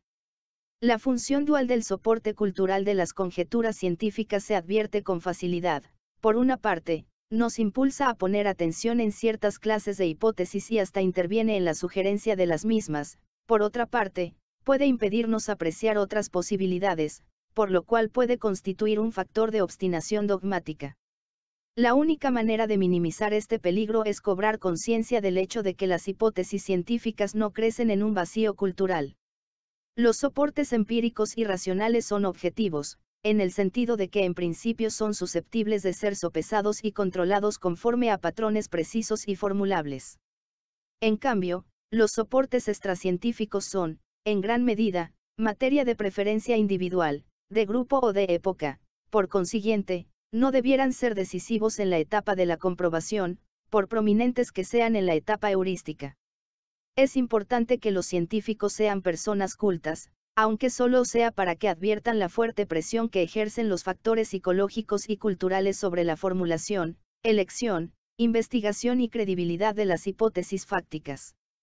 La presión, para bien o para mal, es real y nos obliga a tomar partido por una u otra concepción del mundo, es mejor hacerlo conscientemente que inadvertidamente.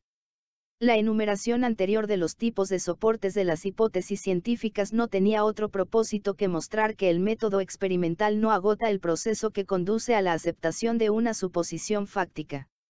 Este hecho podría invocarse en favor de la tesis de que la investigación científica es un arte. 9. La ciencia, técnica y arte. La investigación científica es legal, pero sus leyes, las reglas del método científico, no son pocas, ni simples, ni infalibles, ni bien conocidas, son, por el contrario, numerosas, complejas, más o menos eficaces, y en parte desconocidas. El arte de formular preguntas y de probar respuestas, esto es el método científico, es cualquier cosa menos un conjunto de recetas, y menos técnica todavía es la teoría del método científico. La moraleja es inmediata, desconfíese de toda descripción de la vida de la ciencia, y en primer lugar de la presente, pero no se descuide ninguna. La investigación es una empresa multilateral que requiere el más intenso ejercicio de cada una de las facultades psíquicas, y que exige un concurso de circunstancias sociales favorables. Por este motivo, todo testimonio personal, perteneciente a cualquier periodo, y por parcial que sea, puede echar alguna luz sobre algún aspecto de la investigación. A menudo se sostiene que la medicina y otras ciencias aplicadas son artes antes que ciencias, en el sentido de que no pueden ser reducidas a la simple aplicación de un conjunto de reglas que pueden formularse todas explícitamente y que pueden elegirse sin que medie el juicio personal. Sin embargo, en este sentido la física y la matemática también son artes, quien conoce recetas hechas y seguras para encontrar leyes de la naturaleza o para adivinar teoremas. Si arte significa una feliz conjunción de experiencia, destreza, imaginación, visión y habilidad para realizar inferencias del tipo no analítico, entonces no solo son artes la medicina, la pesquisa criminal, la estrategia militar, la política y la publicidad, sino también toda otra disciplina. Por consiguiente, no se trata de si un campo dado de la actividad humana es un arte, sino si, además, es científico. La ciencia es ciertamente comunicable, si un cuerpo de conocimiento no es comunicable, entonces por definición no es científico.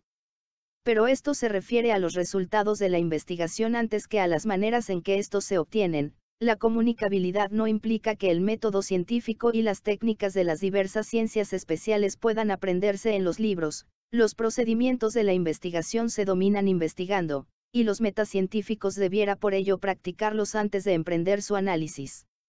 No se sabe de obra maestra alguna de la ciencia que haya sido engendrada por la aplicación consciente y escrupulosa de las reglas conocidas del método científico. La investigación científica es practicada en gran parte como un arte no tanto porque carezca de reglas cuanto porque algunas de ellas se dan por sabidas, y no tanto porque requiera una intuición innata cuanto porque exige una gran variedad de disposiciones intelectuales. Como toda otra experiencia, la investigación puede ser comprendida por otros pero no es íntegramente transferible, hay que pagar por ella el precio de un gran número de errores, y por cierto que al contado.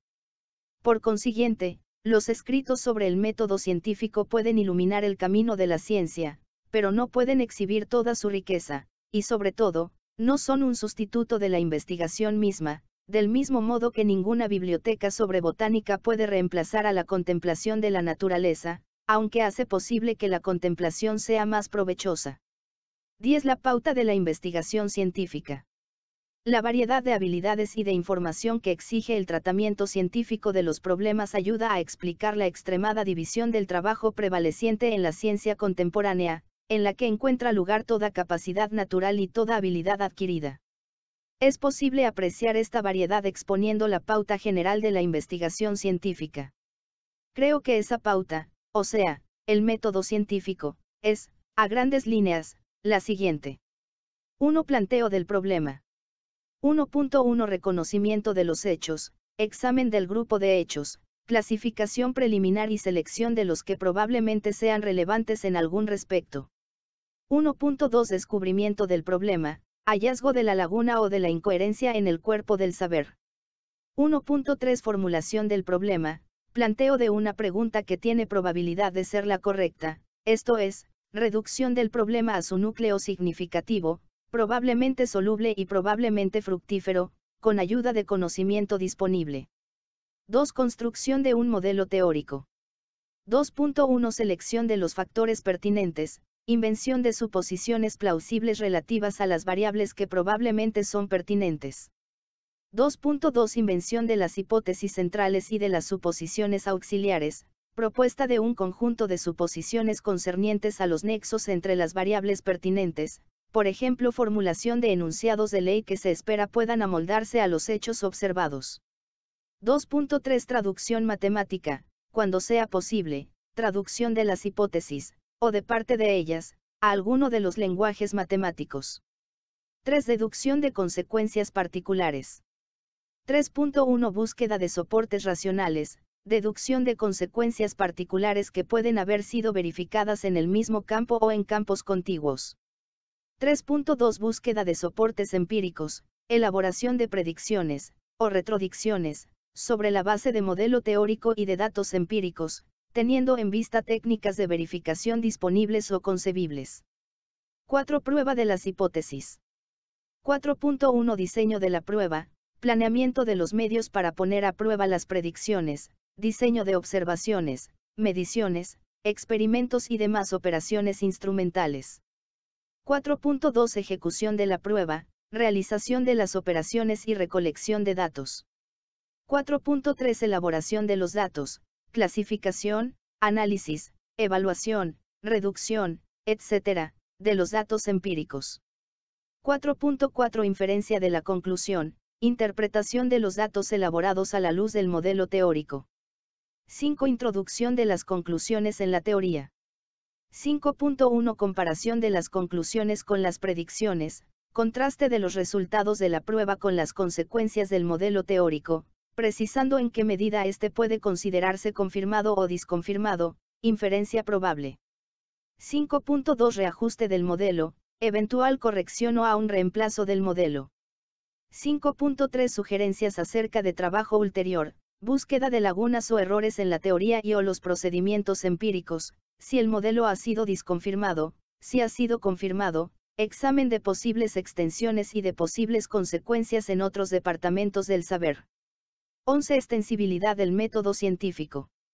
Para elaborar conocimiento fáctico no se conoce mejor camino que el de la ciencia. El método de la ciencia no es, por cierto, seguro, pero es intrínsecamente progresivo, porque es autocorrectivo, exige la continua comprobación de los puntos de partida, y requiere que todo resultado sea considerado como fuente de nuevas preguntas. Llamemos filosofía científica a la clase de concepciones filosóficas que aceptan el método de la ciencia como la manera que nos permite, a, plantear cuestiones fácticas razonables, esto es, preguntas que son significativas, no triviales, y que probablemente pueden ser respondidas dentro de una teoría existente o concebible, y b, probar respuestas probables en todos los campos especiales del conocimiento. No debe confundirse la filosofía científica con el cientificismo en cualquiera de sus dos versiones, el enciclopedismo científico y el reduccionismo naturalista. El enciclopedismo científico pretende que la única tarea de los filósofos es recoger los resultados más generales de la ciencia, elaborando una imagen unificada de los mismos, y preferiblemente formulándolos todos en un único lenguaje, por ejemplo, el de la física. En cambio, la filosofía, científica o no, analiza lo que se le presente y, a partir de este material, construye teorías de segundo nivel, es decir, teorías de teorías. La filosofía será científica en la medida en que elabore de manera racional los materiales previamente elaborados por la ciencia. Así es como puede entenderse la extensión del método científico al trabajo filosófico. En cuanto al cientificismo concebido como reduccionismo naturalista, y que a veces se superpone con el enciclopedismo científico como ocurre con el fisicalismo, puede describírselo como una tentativa de resolver toda suerte de problemas con ayuda de las técnicas creadas por las ciencias naturales, desdeñando las cualidades específicas, irreductibles, de cada nivel de la realidad. El cientificismo radical de esta especie sostendría, por ejemplo, que la sociedad no es más que un sistema físico-químico, o, a lo sumo, biológico, de donde los fenómenos sociales debieran estudiarse exclusivamente mediante la ayuda de metros, relojes, balanzas y otros instrumentos de la misma clase. En cambio, la filosofía científica favorece la elaboración de técnicas específicas en cada campo, con la única condición de que estas técnicas cumplan las exigencias esenciales del método científico en lo que respecta a las preguntas y a las pruebas. De esta manera es como puede entenderse la extensión del método científico a todos los campos especiales del conocimiento. Pero también debería emplearse el método de la ciencia en las ciencias aplicadas y, en general, en toda empresa humana en que la razón haya de casarse con la experiencia, vale decir, en todos los campos excepto en arte, religión y amor. Una adquisición reciente del método científico es la investigación operativa, Operations Research, esto es, el conjunto de procedimientos mediante los cuales los dirigentes de empresas pueden obtener un fundamento cuantitativo para tomar decisiones, y los administradores pueden adquirir ideas para mejorar la eficiencia de la organización. Pero, desde luego la extensión del método científico a las cosas humanas está aún en su infancia. Pídasele a un político que pruebe sus afirmaciones, no recurriendo a citas y discursos, sino confrontándolos con hechos certificables, tal como se recogen y elaboran, por ejemplo, con ayuda de las técnicas estadísticas. Si es honesto, cosa que puede suceder, o bien, A, admitirá que no entiende la pregunta, o B, concederá que todas sus creencias son, en el mejor de los casos, enunciados probables, ya que solo pueden ser probados imperfectamente, o C, llegará a la conclusión de que muchas de sus hipótesis favoritas, principios, máximas, consignas, tienen necesidad urgente de reparación. En este último caso puede terminar por admitir que una de las virtudes del método de la ciencia es que facilita la regulación o readaptación de las ideas generales que guían, o justifican, nuestra conducta consciente, de manera tal que esa pueda corregirse con el fin de mejorar los resultados. Desgraciadamente, la cientificación de la política la haría más eficaz, pero no necesariamente mejor, porque el método puede dar la forma y no el contenido, y el contenido de la política está determinado por intereses que no son primordialmente culturales o éticos, sino materiales. Por esto, una política científica puede dirigirse a favor o en contra de cualquier grupo social, los objetivos de la estrategia política, así como los de la investigación científica aplicada, no son fijados por patrones científicos, sino por intereses sociales. Esto muestra a la vez el alcance y los límites del método científico. Por una parte, puede producir saber, eficiencia y poder, por la otra, este saber, esta eficiencia y este poder pueden usarse para bien o para mal, para libertar o para esclavizar. 12. El método científico, un dogma más. Es dogmático favorecer la extensión del método científico a todos los campos del pensamiento y de la acción consciente. Planteamos la cuestión en términos de conducta. El dogmático vuelve sempiternamente a sus escrituras, sagradas o profanas, en búsqueda de la verdad. La realidad le quemaría los papeles en los que imagina que está enterrada la verdad, por esto elude el contacto con los hechos. En cambio, para el partidario de la filosofía científica todo es problemático, todo conocimiento fáctico es falible, pero perfectible, y aún las estructuras formales pueden reagruparse de maneras más económicas y racionales, más aún, el propio método de la ciencia será considerado por él como perfectible, como lo muestra la reciente incorporación de conceptos y técnicas estadísticas. Por consiguiente, el partidario del método científico no se apegará obstinadamente al saber, ni siquiera a los medios consagrados para adquirir conocimiento, sino que adoptará una actitud investigadora, se esforzará por aumentar y renovar sus contactos con los hechos y el almacén de las ideas mediante las cuales los hechos pueden entenderse, controlarse y a veces reproducirse. No se conoce otro remedio eficaz contra la fosilización del dogma, religioso, político, filosófico o científico, que el método científico, porque es el único procedimiento que no pretende dar resultados definitivos. El creyente busca la paz en la aquiescencia, el investigador, en cambio, no encuentra paz fuera de la investigación y la disensión, está en continuo conflicto consigo mismo, puesto que la exigencia de buscar conocimiento verificable implica un continuo inventar, probar y criticar hipótesis. Afirmar y asentir es más fácil que probar y disentir, por esto hay más creyentes que sabios, y por esto, aunque el método científico es opuesto al dogma, Ningún científico y ningún filósofo científico debieran tener la plena seguridad de que han evitado todo dogma. De acuerdo con la filosofía científica, el peso de los enunciados, y por consiguiente su credibilidad y su eventual eficacia práctica, depende de su grado de sustentación y de confirmación. Si, como estimaba Demócrito, una sola demostración vale más que el reino de los persas, puede calcularse el valor del método científico en los tiempos modernos. Quienes lo ignoran íntegramente no pueden llamarse modernos, y quienes lo desdeñan se exponen a no ser veraces ni eficaces. ¿Qué significa ley científica? 1. Cuatro significados del término ley científica.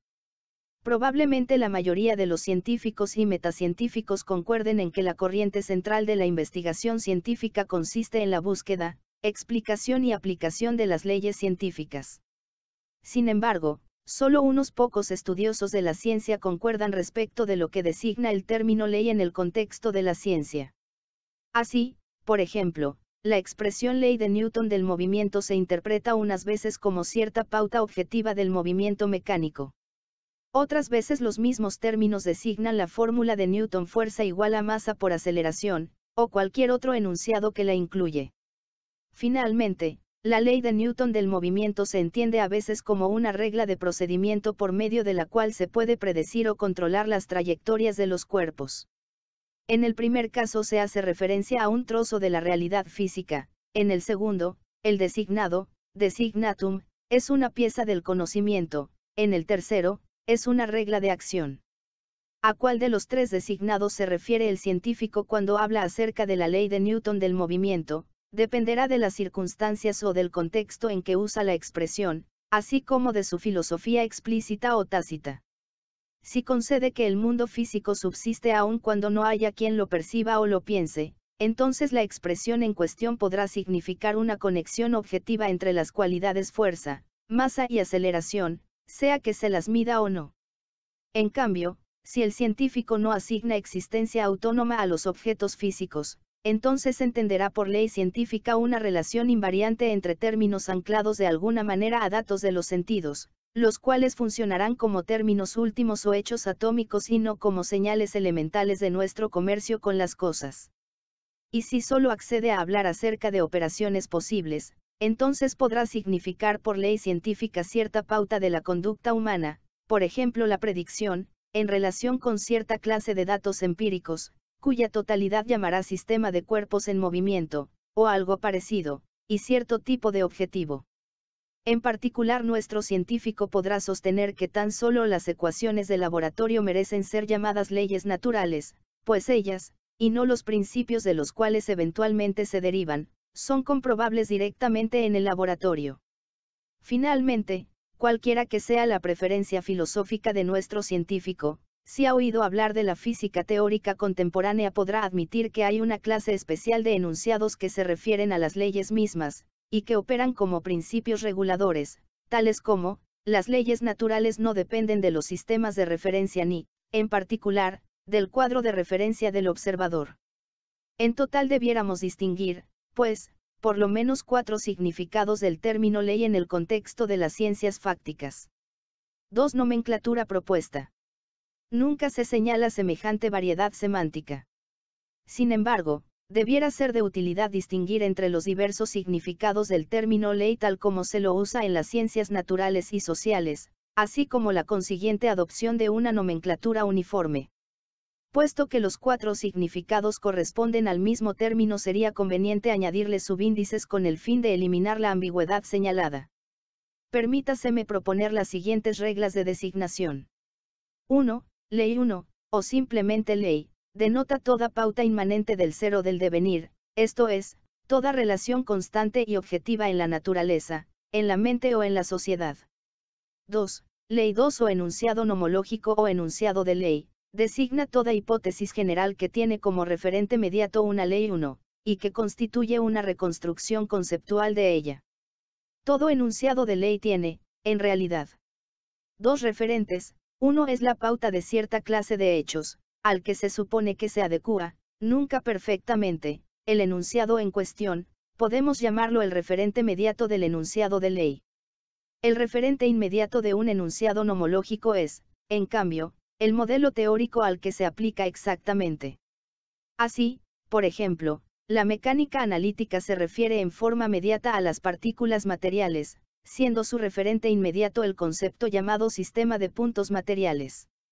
3. Ley 3, o enunciado nomopragmático, designa toda regla mediante la cual puede regularse, exitosamente o no, una conducta. Las leyes 3 son casi siempre consecuencias de leyes 2 en conjunción con ítems de información específica.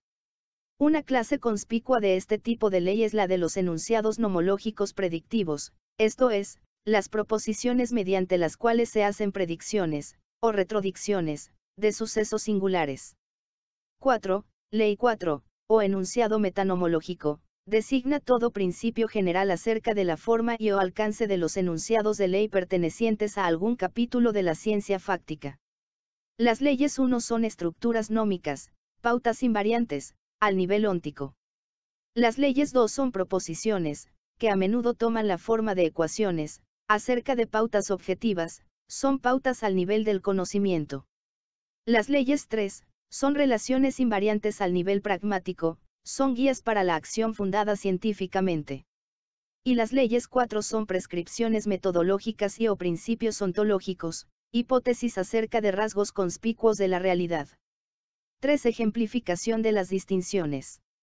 Consideremos nuevamente la ley del movimiento mecánico. Esta puede considerarse como una pauta objetiva, ley 1, que diversos enunciados de ley, leyes 2, reconstruyen en diferentes aproximaciones. A saber, a, la ley de Aristóteles la fuerza es igual a la resistencia multiplicada por la velocidad, b, y la fuerza es igual a la masa multiplicada por la aceleración, la ley de Einstein la fuerza es igual a la velocidad de variación del impulso, d, el teorema de Ehrenfest la fuerza media es igual al valor medio de la velocidad de variación del impulso, e, el teorema de Bruglie-Bohm la fuerza exterior más la fuerza cuántica es igual a la velocidad de variación del impulso, ocultos.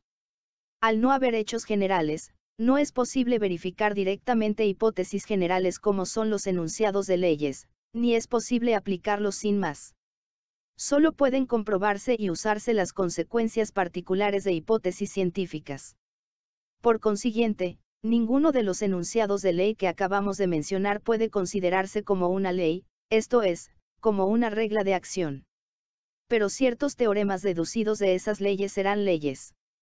Por ejemplo, toda solución de la ecuación de Newton con condiciones iniciales dadas, posición inicial x0 y velocidad inicial v0, será una ley. Así, la ecuación de Galileo. x final es igual a, x inicial, más la v inicial por t, más un medio de la gravedad por t al cuadrado.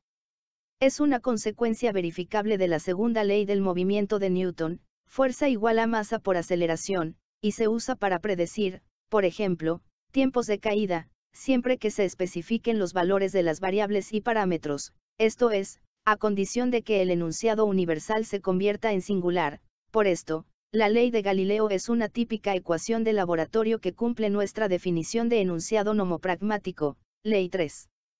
Obsérvese que, a diferencia de la correspondiente ley 2, una ley 3 puede incluir ítems de informaciones específicas, tales como la posición y velocidad iniciales de un cuerpo, o el contorno de una membrana vibrante. Más aún, las leyes 3 no serán, en general, invariantes respecto de las mismas transformaciones que dejan invariantes a las correspondientes leyes 2. Vale decir, mientras que las leyes de los hechos no dependen de nuestro punto de vista, sistema de referencia, unidades de medición, y otras convenciones, las leyes 3, sí dependen de nuestro punto de vista. En otras palabras, la descripción de los fenómenos del presente, del pasado o del futuro depende esencialmente del operador, aun cuando los fenómenos mismos ocurran sin nuestra intervención. Las transformaciones que dejan invariante a la ley de Newton del movimiento, pero no a sus consecuencias, son las que constituyen el grupo de Galileo, x es igual a, x menos, la velocidad multiplicada por el tiempo. El principio de la relatividad del movimiento es el enunciado metanomológico, Ley 4, que corresponde a la ley de Newton del movimiento. En efecto, dicho principio se refiere a esta ley del movimiento, y, específicamente, a sus propiedades de invariancia respecto de cierto conjunto de cambios en la representación de los fenómenos. 4. Justificación de la distinción entre leyes y enunciados de leyes. La distinción entre las leyes 1 y sus reconstrucciones conceptuales, leyes 2, debiera ser obvia para todo no idealista, aunque solo sea por el hecho de que suele suponerse que un referente mediato único, una ley 1, les corresponde a los diversos enunciados de leyes, leyes 2, de un cierto tipo, que se suceden históricamente. Semejante distinción está involucrada en la noción misma de perfectibilidad de la descripción científica de los hechos, que contrasta con la presunta constancia de las pautas de los hechos, presunción esta que es indudablemente correcta en primera aproximación y en relación con cada uno de los niveles de la realidad, no así en relación con la totalidad de la realidad, puesto que la emergencia de nuevos niveles va acompañada de la emergencia de nuevas leyes. Lo que habitualmente designa el término ley de la realidad física o cultural no depende de nuestro conocimiento, a menos que se trate de una ley del proceso cognoscitivo. Antes bien, nuestro conocimiento de las leyes 1, esto es, las leyes 2, presupone la existencia de pautas objetivas. Si no hacemos esta distinción, podemos caer en la visión mágica del mundo exterior, propuesta por Chesterton, según la cual no hay leyes, sino tan solo repeticiones misteriosas, weird, o rendirnos a la conclusión no menos nihilista de Bridgman, de que la naturaleza es intrínsecamente y en sus elementos incomprensible y no está sujeta a la ley. Normalmente, los científicos no aceptan ninguna de estas versiones del contingentismo, sino que se inclinan más bien a admitir el principio leibniziano de la inagotabilidad de los actuales, el correspondiente principio de Weismann de la textura abierta de los conceptos empíricos, y la hipótesis de que en el mundo exterior no hay repeticiones sino tan solo leyes, probablemente, constantes, siendo la repetición una ficción inventada por el hombre para arreglárselas con la variedad y la novedad. Las leyes 1 no son verdaderas ni falsas, simplemente son. Solo las leyes 2 pueden ser más o menos exactas. Las leyes 1, aunque objetivas, no son objetos sensibles sino inteligibles, no percibimos las leyes, sino que las inferimos a partir de los fenómenos, tal como inferimos todo otro universal fáctico. Este es el motivo por el cual los empiristas deben negar la existencia de las leyes, porque las leyes objetivas no son observables. Semejante inferencia dista de ser directa, no aprendemos leyes, a duras penas aprendemos los singulares, en su pureza, sin distorsión. El proceso del descubrimiento científico es cualquier cosa menos un mero reflejo de los hechos sobre la conciencia, por la vía de la percepción y de la inducción, es, por el contrario, un arduo trabajo de ensayo de reconstrucción, por medio de conceptos teóricos más o menos elaborados. En particular, las construcciones conceptuales llamadas leyes científicas, nuestras leyes 2, son las reconstrucciones cambiantes de las leyes objetivas en el nivel del pensamiento racional. Si se prefiere, las construcciones conceptuales llamadas leyes 2 son la proyección deformada e incompleta de las leyes 1 sobre el plano conceptual. En suma, mientras las leyes de la naturaleza, del pensamiento y de la sociedad, leyes 1, son la estructura de la realidad, los correspondientes enunciados nomológicos, leyes 2, pertenecen a nuestros modelos ideales de la realidad, por lo cual se aplican, en el mejor de los casos, solo aproximadamente, nunca con toda la exactitud deseada. 5. Justificación de la necesidad de las distinciones restantes. Ocupémonos ahora de esas pautas que empleamos en la descripción de fenómenos singulares en términos de esquemas generales, y que usamos cuando enriquecemos nuestra experiencia y la hacemos más exitosa. Los enunciados nomopragmáticos, leyes 3, no se consideran habitualmente como proposiciones que pertenecen a una clase aparte, acaso porque rara vez son axiomas independientes. En efecto, casi siempre son aplicaciones de leyes 2 a situaciones o a clases de situaciones específicas. Los enunciados nomopragmáticos se deducen casi siempre de leyes 2 en conjunción con datos empíricos, esto es, proposiciones particulares que se refieren a miembros de esa subclase de hechos que llamamos experiencia. Esta peculiaridad se advierte claramente en el caso de los enunciados predictivos deducidos de los enunciados nomológicos y de las condiciones iniciales. Pero los datos empíricos no tienen por qué ser condiciones iniciales, valores de frontera, o trozos análogos de información específica. Considérese la ley, aproximadamente verdadera, de Cuvier, de la correlación morfológica, una consecuencia de esta ley 2 es la conocida directiva para predicciones paleontológicas, la reconstrucción del organismo entero solo requiere el examen de una parte de sus restos, ejemplo típico de ley. Obsérvese, de paso, que en relación con el uso de las leyes 2 ocurre la siguiente inversión de la relación hecho-ley, al establecer enunciados de leyes asignamos prioridad a los hechos, al menos en una etapa dada de la investigación, pero al aplicar las leyes 2 razonamos como si las leyes planearan por encima de los hechos cuya estructura y tiempo son en realidad. Así, por ejemplo, con frecuencia pronunciamos frases de esta clase, el hecho es imposible porque su producción violaría la ley L. Con ello no queremos decir que los sucesos están sujetos a nuestros enunciados nomológicos, ni siquiera significamos que los hechos deben obedecer a las leyes 1. Solo estamos haciendo predicciones sobre la base de enunciados de leyes. Toda ley 3 no es sino consecuencia lógica de una ley 2, en conjunción con informaciones específicas. Decididamente, esto no es así en la mecánica cuántica que, a diferencia de la física clásica, contiene postulados que se refieren explícitamente a resultados posibles de los experimentos, a diferencia de aquellos que se refieren a posibles aspectos de las cosas en sí. Sea, por ejemplo, el siguiente axioma de la mecánica cuántica en su formulación e interpretación habituales, los autovalores de A, N, de un operador, A, o P, son los únicos resultados posibles de una medición exacta de la variable dinámica, A, representada por ese operador. O, si no, este otro postulado, la probabilidad de hallar el valor A, n al medir la variable, a es igual a c2n, donde se designa el enésimo coeficiente del desarrollo de la función de estado en funciones propias del operador que representa a. Ambos postulados son típicas leyes 3 porque no se refieren a las cualidades, a de las cosas en sí, sino, al contrario, a las cualidades tales como no son conocidas en la experimentación, donde se manifiestan acopladas con las cualidades del dispositivo experimental.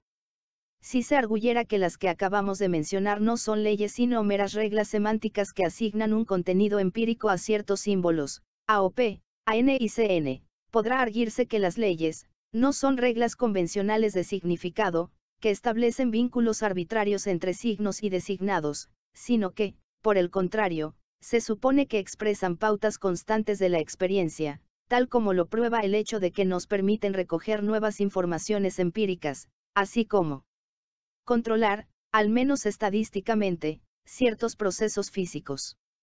Otra objeción podría ser la siguiente. Los ejemplos aducidos han sido tomados de la ciencia física, ¿hay algún motivo para sostener la distinción propuesta en el campo de las ciencias sociales? La respuesta es esta, precisamente en las ciencias del hombre es donde debiera ser de mayor utilidad la distinción entre enunciado nomológico y enunciado nomopragmático. El sociólogo manipula leyes sociológicas, leyes 2 que pretenden dar cuenta de las leyes sociales, o leyes del nivel social, pero también manipula reglas, prescripciones propuestas, e ideales de política social.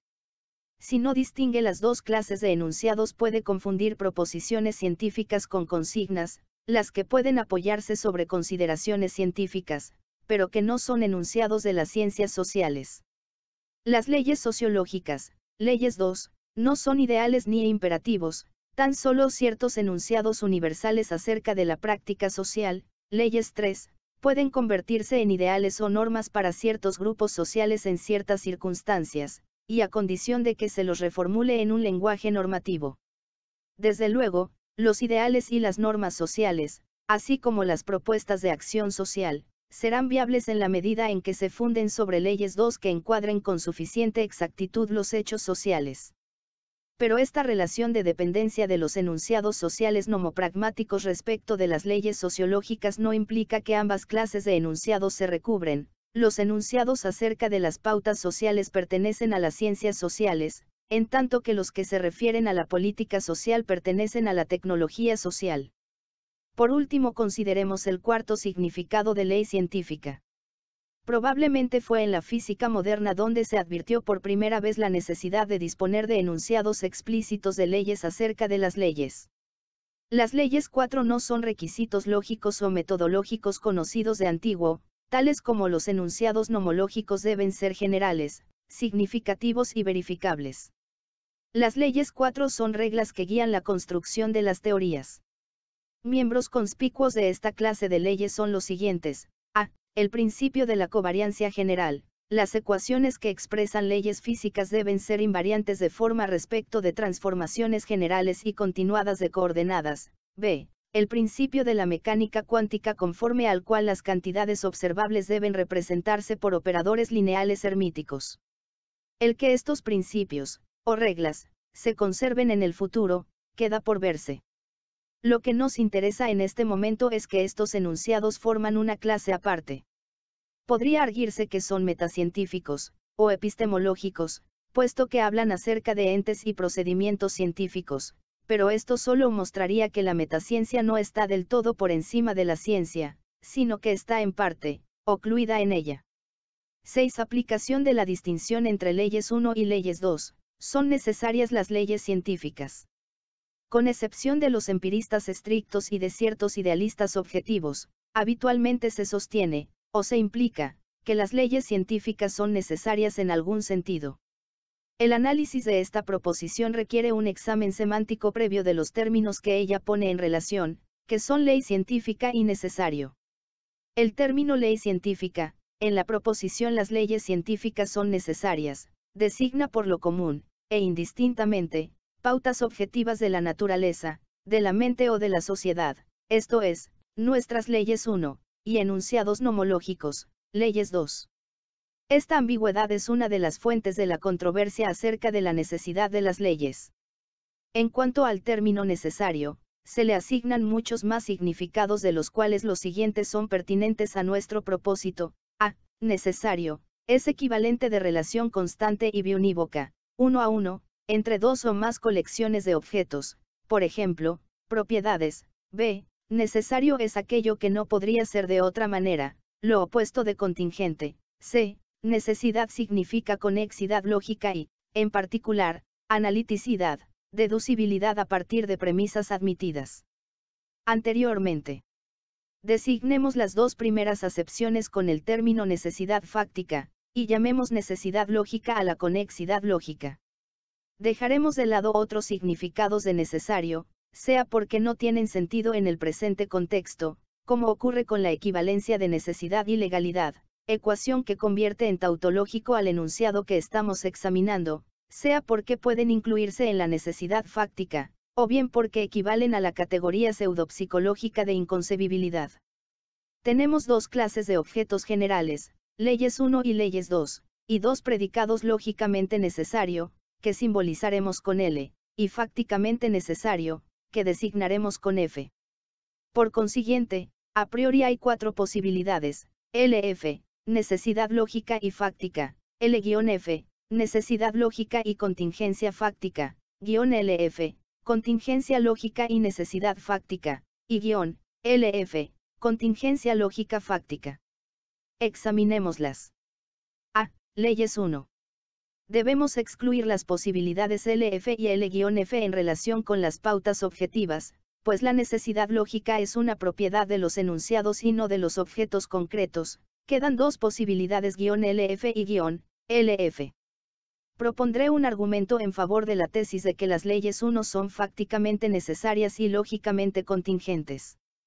Si las leyes 1 fuesen aisladas, si no constituyeran sistemas, entonces podría pensarse que son fácticamente contingentes, esto es, que podrían no haber sido lo que son pero las leyes constituyen sistemas nómicos regionales, esto es, redes que caracterizan cada nivel de la realidad, por consiguiente, cada una de las leyes no es contingente.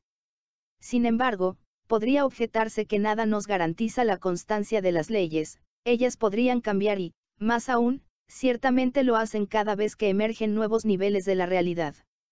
La cuestión es averiguar si la variación de las leyes 1, que es perfectamente concebible, es a su vez contingente o necesaria.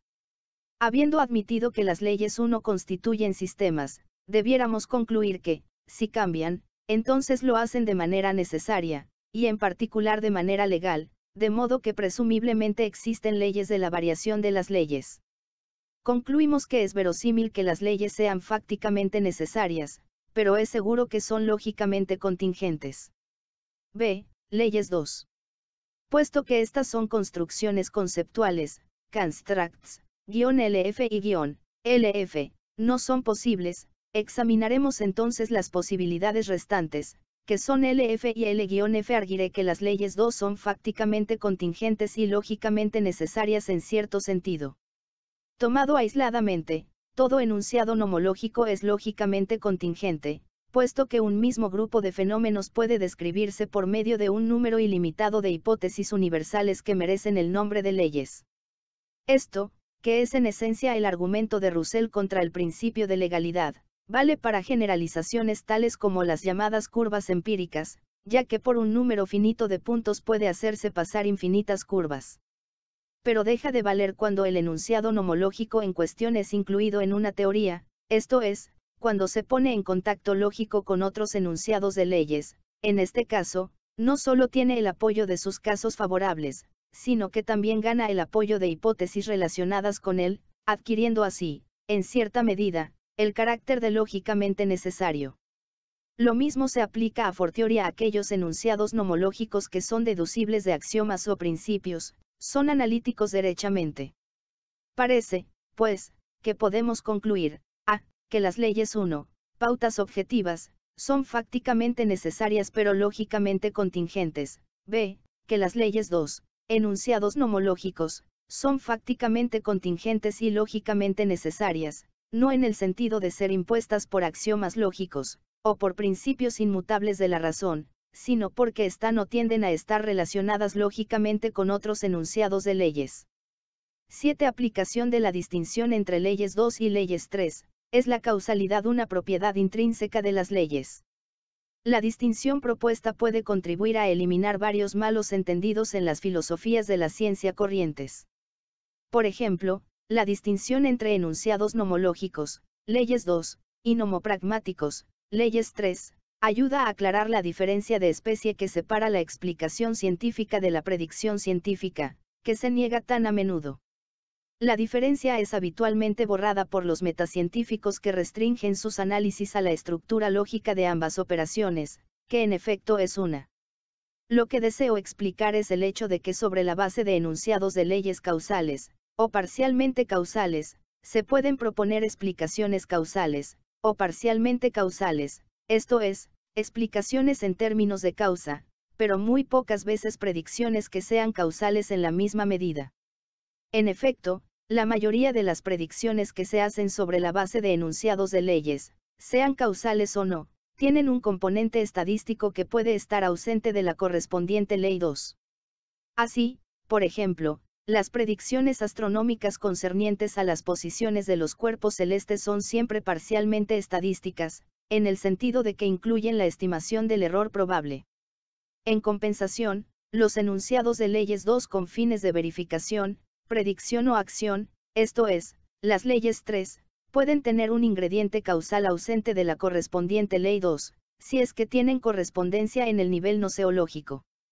Esto ocurre toda vez que podemos controlar algunas de las variables relacionadas por el enunciado nomológico en consideración. El conjunto de las variables bajo control experimental se llama a menudo causa, si, al cambiar sus valores de manera prescripta, se produce invariablemente cierto efecto de una manera unívoca, sin que a su vez influya apreciablemente sobre la causa. Sin embargo, esto no basta para asegurar que la relación dada, esto es, la ley 2, sea ella misma causal. Para asegurarlo tendríamos que probar que, eligiendo el conjunto complementario de variables como parámetros bajo control experimental, esto es, manipulando el efecto anterior como causa, la conexión variará. Pues si la conexión permanece invariable, si la relación es simétrica, entonces no puede llamarse propiamente causal, pues, por definición, la causación es una conexión asimétrica. En conclusión, los ingredientes causal y estadístico de una ley natural o social dada no son siempre propiedades intrínsecas de ella, sino que varían según que se trate de un enunciado nomológico o nomopragmático. Por esto es útil, cuando se discute el problema de la legalidad y de la causalidad, aclarar si se hace referencia a leyes o a enunciados que se usan con fines predictivos o con otros propósitos vinculados con la experiencia. Adviértase, de pasada, que el mero hecho de que puede trazarse una distinción neta entre enunciados nomológicos y enunciados nomopragmáticos constituye un argumento en contra de la pretensión operacionista de que el significado de una proposición sintética consiste en la técnica de su verificación. 8. Los ideales de la ciencia en términos de los diversos niveles de significación de ley. Sobre la base de las distinciones elaboradas y justificadas en lo que precede, podríamos comprimir los ideales de la investigación científica fundamental en las siguientes máximas. 1. Legalidad. Los hechos singulares, sucesos y procesos, tales como el lanzamiento del Sputnik, la última pesadilla del lector, o la última huelga de la historia, deberán considerarse como casos particulares de leyes 1, o, más exactamente, como secciones de haces de leyes 1. 2. Cognoscibilidad. Las leyes 1 no son perceptibles pero son cognoscibles.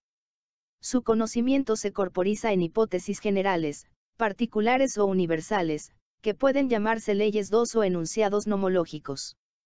3. Limitación y perfectibilidad. Toda ley 2 tiene un dominio de validez peculiar y es falible porque depende en parte de la experiencia, pero todo enunciado nomológico puede perfeccionarse tanto en extensión como en precisión. 4 generalidad del conocimiento fáctico. Los enunciados fácticos singulares son deducibles de enunciados fácticos generales, hipótesis llamadas leyes 2. A esto se reduce, desde el punto de vista lógico, la explicación científica de los hechos. 5. Sistematicidad. Las leyes 2 constituyen sistemas lógicamente organizados o, al menos, organizables. La mayoría de las leyes 2 son deducibles de hipótesis de tipo más elevado, las de máximo grado en un contexto dado se llaman axiomas o principios. Esto es, la mayoría de los enunciados nomológicos son aplicables en términos de leyes 2 de un grado de generalidad aún mayor, por ejemplo, las ecuaciones de movimiento son deducibles de principios variacionales. En esto consiste la explicación científica de las leyes. 6. Generalidad de los enunciados empíricos. Los enunciados empíricos singulares, los que se refieren a la subclase de hechos que llamamos experiencia, son deducibles de hipótesis que pueden llamarse leyes 3. Estas últimas proposiciones son las herramientas de la predicción, contienen variables, ligadas, tales como el tiempo y o constantes descriptivas que resumen ítems de información específica, tal como los precios del trigo de un año dado. 7. La legalidad de las leyes. Los enunciados nomológicos, leyes 2, encuadran en ciertos esquemas generales que pueden denominarse leyes. La exigencia, inadecuada, de que todas las leyes debieran ser expresables como ecuaciones diferenciales, y el principio, plausible, de covariancia pertenecen a esta clase de proposiciones, o, mejor, de propuestas. Pueden considerarse como prescripciones metodológicas y o como suposiciones ontológicas. Dado que 7 es un número célebre por sus propiedades, podemos terminar en este punto nuestra tentativa de caracterizar la ciencia en términos de los diversos significados de la palabra ley, multiplicidad semántica que ha originado famosos embrollos. Filosofar científicamente y encarar la ciencia filosóficamente. 1. Lugar de la epistemología en la Universidad Argentina. Es fácil advertir cuán modesto es el lugar que actualmente ocupa la filosofía de la ciencia en nuestras universidades. Si se exceptúan los pintorescos cursos de epistemología de la ingeniería de años recientes, la filosofía de la ciencia se enseña solamente en las facultades de filosofía, y en estas no ocupa un lugar importante. ¿Qué importancia puede dársele a uno de los pocos cursos de filosofía sistemática que figuran en un plan de estudios que parece confeccionado a la medida de especialistas en filosofía grecorromana y medieval? ¿Qué importancia puede tener un único curso de filosofía de la ciencia, comparado con todos los cursos de filosofías y de lenguas muertas. Es una de tantas materias, acaso la más humilde de todas. Tan poca importancia se le asigna a la filosofía de la ciencia en nuestra universidad, que el estudiante es lanzado a ella inerme. No se le dota, por ejemplo, de nociones científicas de nivel universitario, no se le equipa con las herramientas de la lógica moderna y del análisis lógico del lenguaje, ni siquiera se le exige un conocimiento suficiente del inglés, del alemán y del francés. Es claro que a menudo se hallaba consuelo en la circunstancia de que tampoco se exigían estos requisitos elementales a quienes enseñaban la materia o simulaban hacerlo. La filosofía de la ciencia está arrinconada en el plan de estudios y, en general, en el panorama filosófico del país. Entre nosotros no se considera deseable que el filósofo se inspire en el modo de proceder del científico, quien comienza por los hechos, luego los describe y más tarde formula hipótesis y construye teorías para explicarlos, después deduce de ellas conclusiones particulares verificables, recurre eventualmente a nuevas observaciones o a nuevos cálculos, y contrasta sus conclusiones con estos resultados, y, finalmente, si lo haya necesario, corrige sus conjeturas sin compasión. Este severo carácter autocorrectivo de la investigación científica no suele estimarse superior al carácter oracular habitual en la filosofía tradicional, la que no siempre titubeaba en formular conjeturas sin fundamento y sin verificación. Entre nosotros apenas se considera interesante la riquísima problemática filosófica que suscita la ciencia, para algunos, dicha problemática es demasiado estrecha, para otros demasiado árida, y para la mayoría de los filósofos y de los científicos ella apenas existe, se cree vulgarmente, en efecto, que la ciencia carece de problemas filosóficos y que no es más que una máquina de buscar datos. Entre nosotros suele encontrarse más cómodo adoptar una postura especulativa y de desprecio por los hechos y por la razón que adoptar una actitud crítica fundada en los hechos y que haga pleno uso de los instrumentos de la razón. Es más fácil proclamar la bancarrota de la razón y las limitaciones de la ciencia, anunciando que se está en posesión de fórmulas definitivas, o bien de una peculiar intuición que ahorraría el trabajoso camino de la investigación. Se busca la explicación última de todas las cosas sin atender a las explicaciones provisionales y perfectibles de la ciencia. ¿A qué se deben el descuido de la epistemología y el desdén por la actitud científica entre nosotros? 2. Algunos de los motivos del atraso de la epistemología en Latinoamérica. La epistemología apenas se cultiva en Latinoamérica, y ni siquiera goza en ella de buena reputación.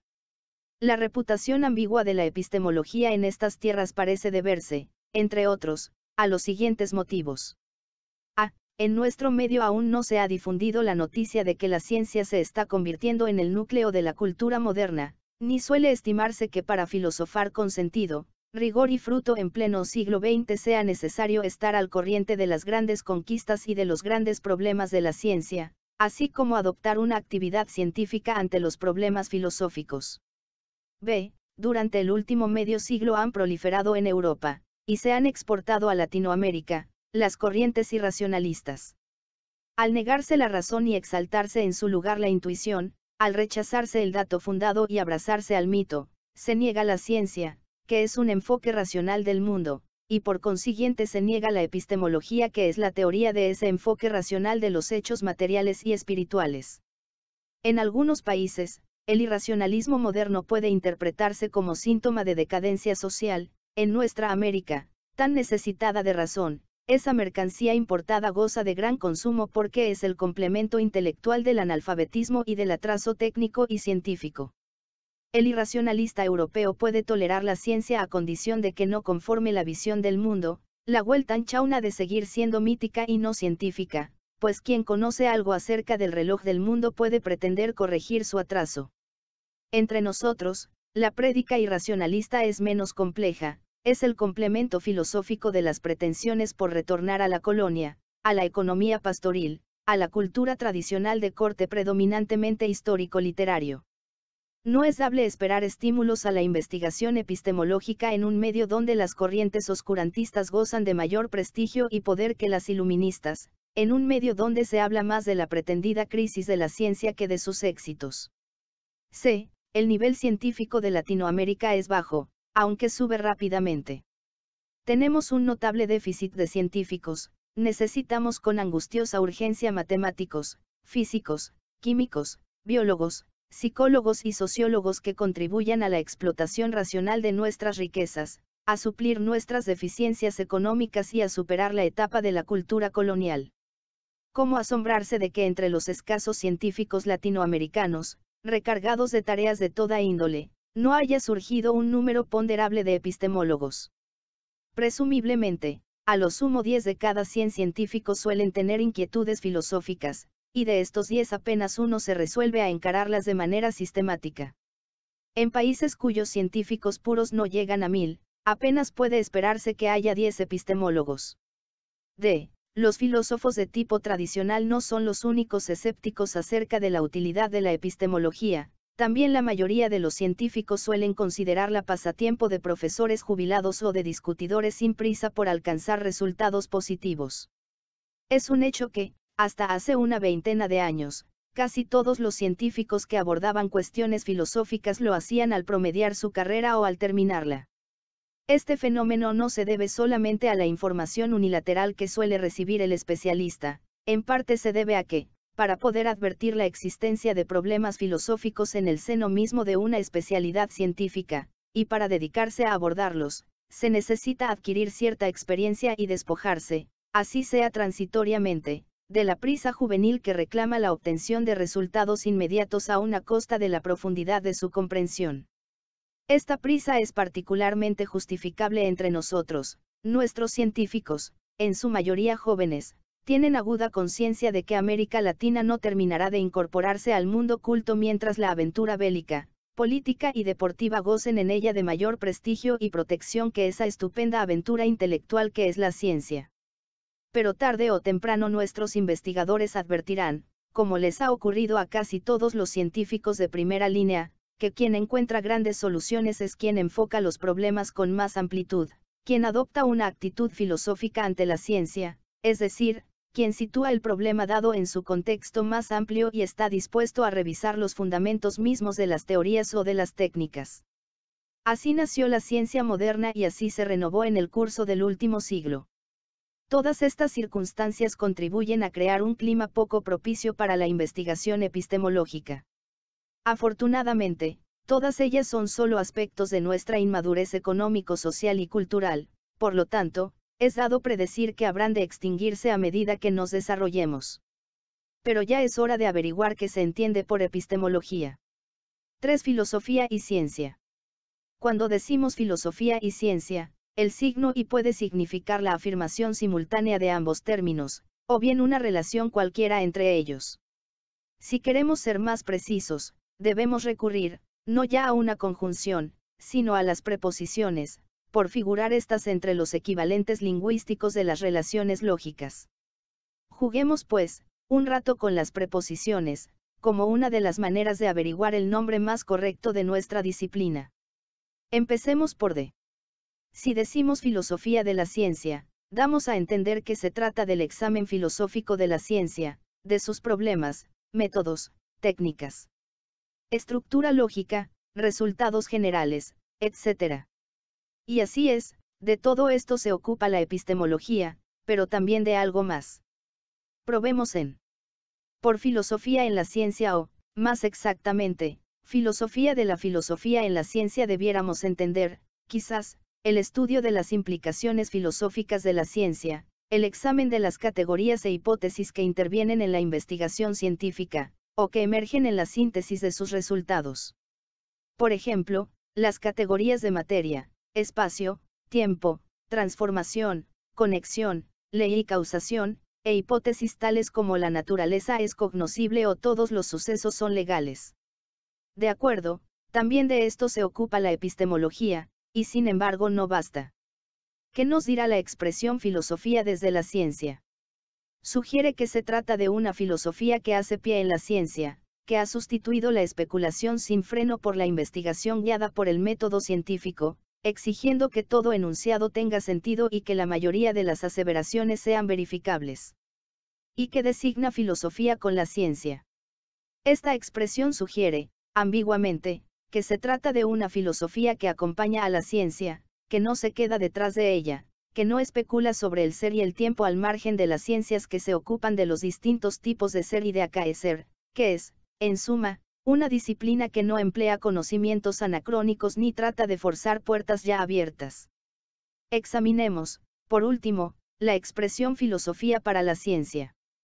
Sugiere una filosofía que no se limita a nutrirse de la ciencia, sino que aspira a serle útil, al señalar, por ejemplo, las diferencias que existen entre la definición y el dato, o entre la verdad de hecho y la proposición que es verdadera o falsa independientemente de los hechos, Será esta una filosofía que no solo escarbe los fundamentos de las ciencias para poner en descubierto las hipótesis filosóficas que ellas admiten en un momento dado, sino que además aclare la estructura y función de los sistemas científicos, señalando relaciones y posibilidades inexploradas.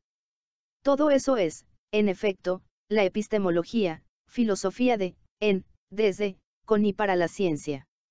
Para ser equitativos con las cinco preposiciones, convengamos en no emplear ninguna de ellas, eligiendo en cambio un término único que posea todos esos significados.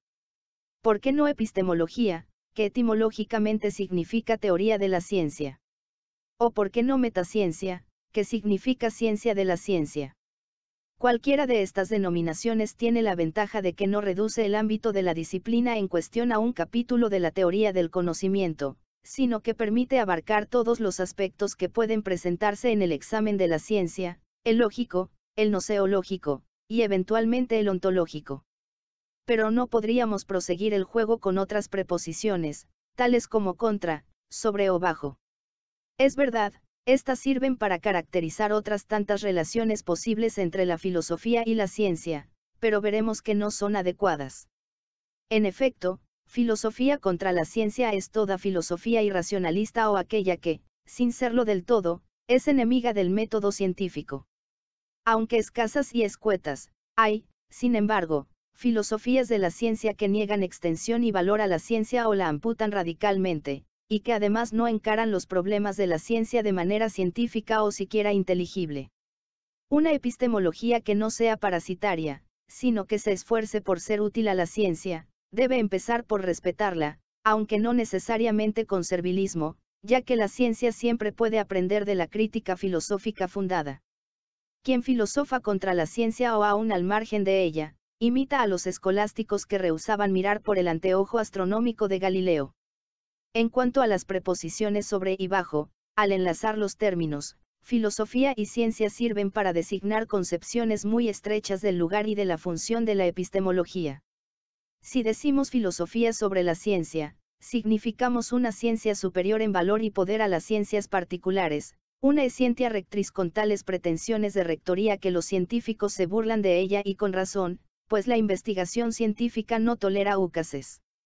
Por su parte la expresión filosofía bajo la ciencia sugiere la posición inversa, de dependencia unilateral de la filosofía respecto de la ciencia, es este un error que los epistemólogos no cometen en los hechos, aunque a veces lo proclaman como la más excelsa de las virtudes epistemológicas. La filosofía de la ciencia no solo comporta el examen de los supuestos filosóficos de la investigación científica, sino que tiene derecho a una elaboración creadora en un nivel diferente del científico aunque reposa sobre él, el nivel metacientífico. No hay pensador más entremetido que el epistemólogo, hoy señala una hipótesis filosófica oculta en un sistema teórico, mañana le discutirá al científico el derecho a usar cierta categoría en determinado contexto, y pasado mañana propondrá una teoría sobre determinada clase de conceptos o de operaciones de la ciencia. La epistemología no está por encima ni por debajo de la ciencia, está a la vez en la raíz, en los frutos y en el propio tronco del árbol de la ciencia. Es necesario distinguir los problemas metacientíficos de los científicos, pero no hay por qué inventar un abismo que los separe, ¿acaso no exista problema científico que no suscite problemas filosóficos, ni problema filosófico que pueda abordarse con esperanza de éxito si no es adoptando una actitud científica? Algunos filósofos carentes de formación científica son culpables de las filosofías de la ciencia que son anticientíficas o por lo menos acientíficas, del mismo modo que los científicos sin formación filosófica suelen ser los creyentes más fervorosos en la existencia de la filosofía de la ciencia, que a menudo es aquella que han aprendido en el libro de epistemología con que se han cruzado. No existe la filosofía de la ciencia en cuanto teoría única, apenas hay intentos, si bien cada vez más serios, por cientificizar la epistemología y, en general, la filosofía.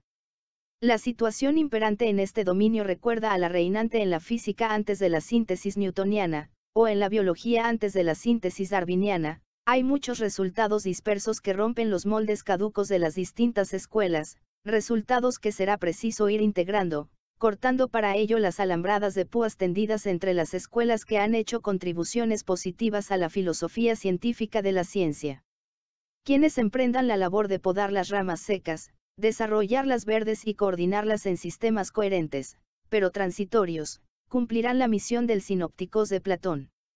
Pero no lo harán ya al margen de la ciencia, no lo harán ignorando el saber moderno, sino que se fundarán sobre él. Toda época ha intentado integrar los conocimientos, nuestra época, la era de la ciencia, intenta integrar conocimientos más o menos verificados, pero no pretende elaborar síntesis cristalizadas. Cuatro disciplinas contiguas a la epistemología. Si uno de los cometidos del epistemólogo es analizar la estructura lógica de las teorías científicas, entonces la lógica es, una de sus herramientas de trabajo. Naturalmente, el epistemólogo se servirá de la lógica de su siglo, sin ser necesariamente un especialista en ella, del mismo modo que el biólogo emplea la física de su siglo sin ser el mismo físico. Y la lógica de nuestro tiempo, me refiero a la lógica científica, se compone, esencialmente, de la lógica simbólica, o logística, y de la lógica inductiva o de la inferencia, probable.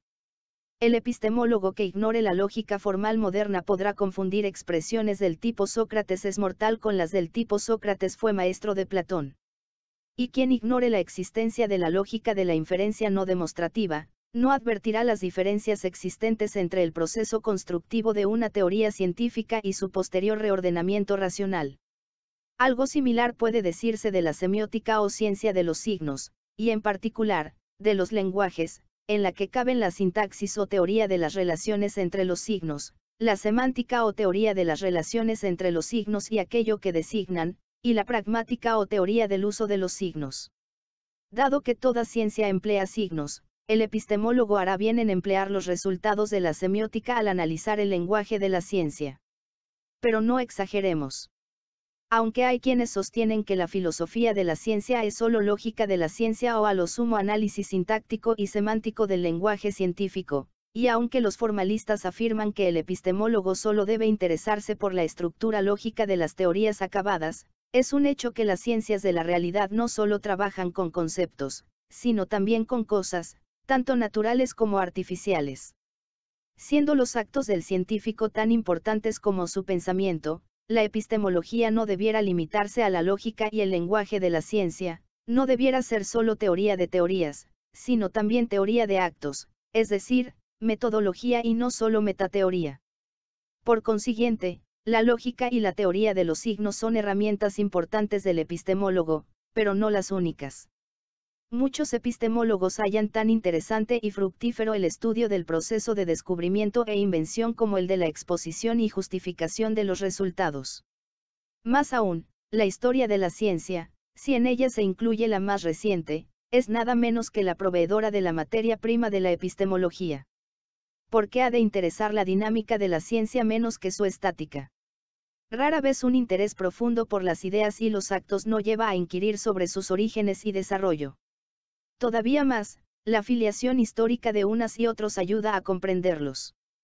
Así como el estado actual de una especie biológica no se entiende adecuadamente si no es como etapa de un proceso, así tampoco se entiende acabadamente el quehacer científico si solo se pone atención en sus resultados.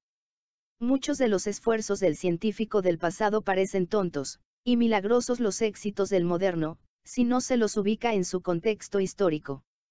Quien sostiene que el epistemólogo solo debe ocuparse de la estructura lógica y, de haberlo, del fundamento empírico de las teorías acabadas, adopta una actitud fijista que lleva a petrificar los resultados, a olvidar que todos ellos son aproximados y perfectibles. Si se desea estudiar en forma cabal una transformación, y la ciencia es cambiante en grado sumo, es menester adoptar una actitud transformista capaz de captar la dinámica de la averiguación científica. Otro tanto puede decirse de la historia de la filosofía, a menudo se supone que el epistemólogo nada tiene que aprender de los filósofos del pasado, quienes no habrían hecho sino apilar error sobre error. Quien adopta esta actitud arrogante ante sus antecesores se expone a descubrir la pólvora en el mejor de los casos, y la piedra filosofal en el peor. Además, desdeña una de las fuentes de la actividad científica y, a la vez, uno de sus principales resultados, a saber, ciertos principios filosóficos referentes a la realidad en su conjunto, al conocimiento en general, etc. Estos principios participan, habitualmente en forma implícita, de la investigación científica, aunque solo sea porque intervienen en la visión del mundo del investigador. La adopción de una actitud científica en filosofía, y el tratamiento riguroso de problemas metacientíficos, no implica desdeñar la totalidad de la filosofía tradicional, implica, más bien, abordar íntegramente su problemática, pero ahora sobre la base de los conocimientos científicos actuales y de las técnicas filosóficas actuales. Desde luego el epistemólogo científico desestimará ciertos problemas tradicionales por considerarlos meros enredos verbales, y concederá a otros problemas mucha menor importancia de la que tuvieron en el pasado pero, en compensación, abordará problemas acerca de cuyo solo enunciado no podían tener idea sus antecesores, tales como la estrategia de la experimentación, o las relaciones entre la probabilidad y la frecuencia, o la técnica de la construcción de teorías. El epistemólogo, en suma, no tiene por qué fingir que ha cortado todo vínculo con el pasado, ya que sobre el pasado se encarama, por radicales que sean las novedades que enuncia, si no quiere recaer en viejos errores, se esforzará por asimilar el pasado en lugar de desdeñarlo. El epistemólogo que descuida o desdeña la historia de las ideas científicas y filosóficas adopta una postura tan altanera y cerrada como la del historiador de la filosofía que ignora la existencia de la filosofía de la ciencia o la confunde con el movimiento negador o retaseador de la ciencia. El fijista que ignora la historia de las ideas suele tomar por definitiva la teoría más reciente, rodeándola de un caparazón escolástico que más tarde podrá dificultar su desarrollo interno y su crítica epistemológica. Así ocurrió con la mecánica de Newton, así ocurre con la mecánica cuántica. Al proceder de esta manera, lejos de ser útil al progreso científico, el epistemólogo fijista podrá llegar a obstaculizarlo.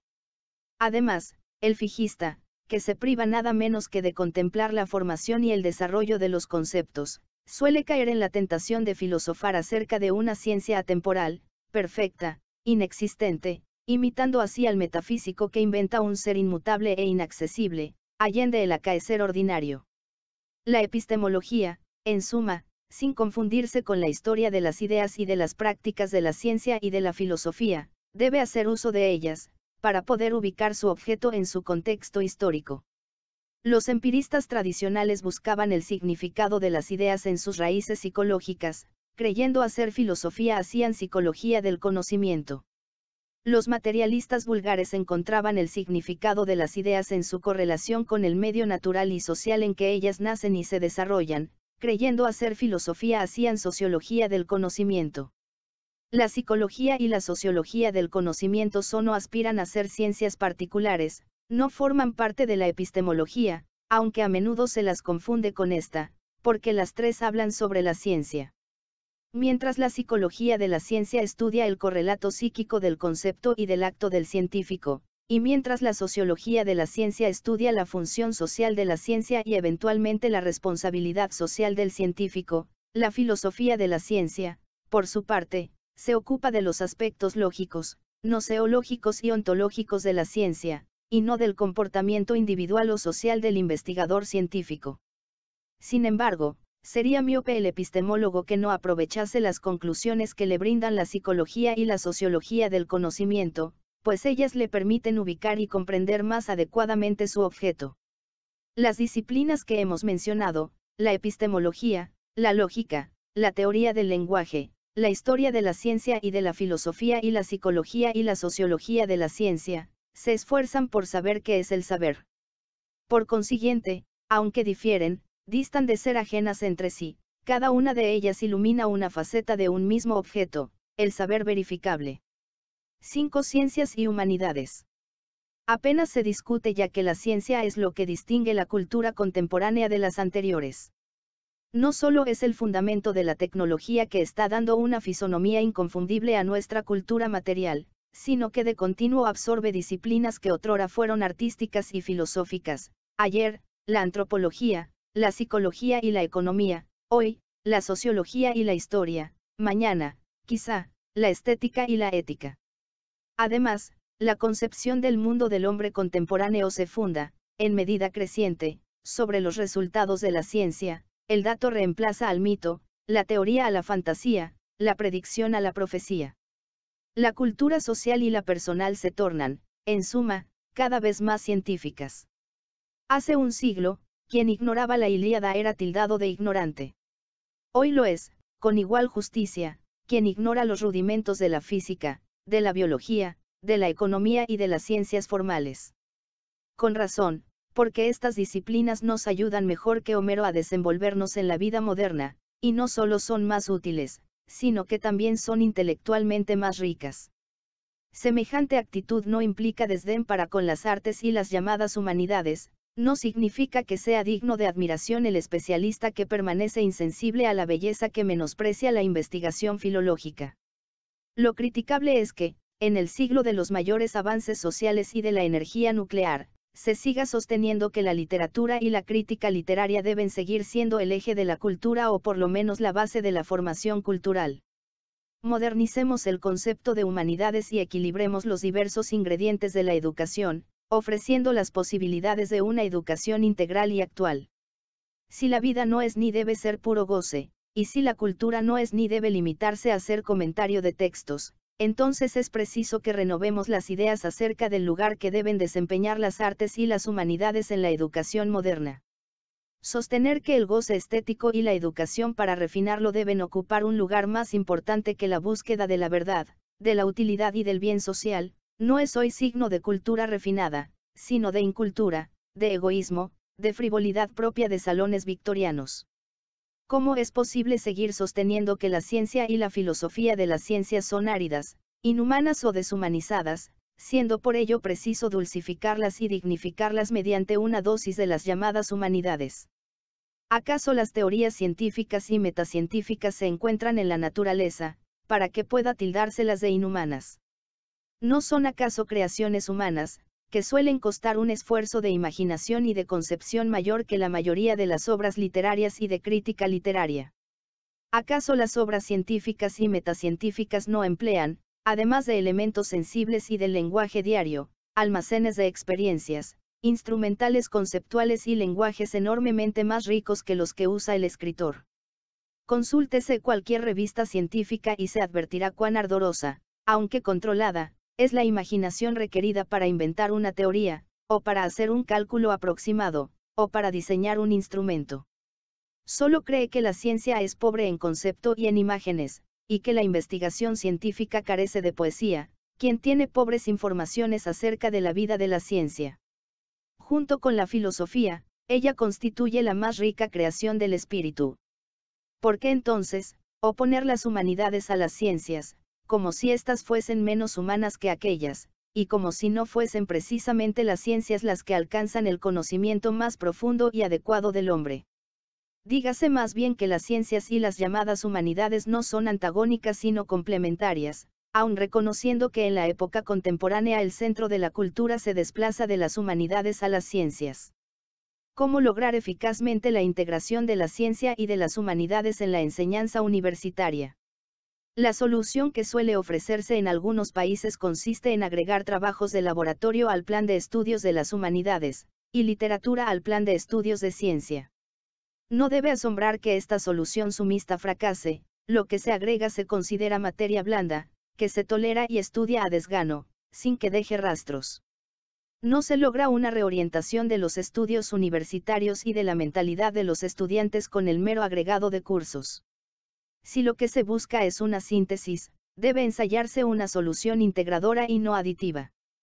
¿Por qué no ensayar el cultivo de una actitud filosófica en las ciencias naturales y sociales, y de una actitud científica en la filosofía y en las llamadas humanidades.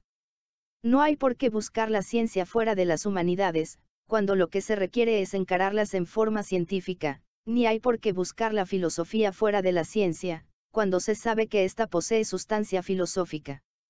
La epistemología es terreno particularmente adecuado para advertir la integración de la ciencia, de la filosofía y de las humanidades, y para promoverla.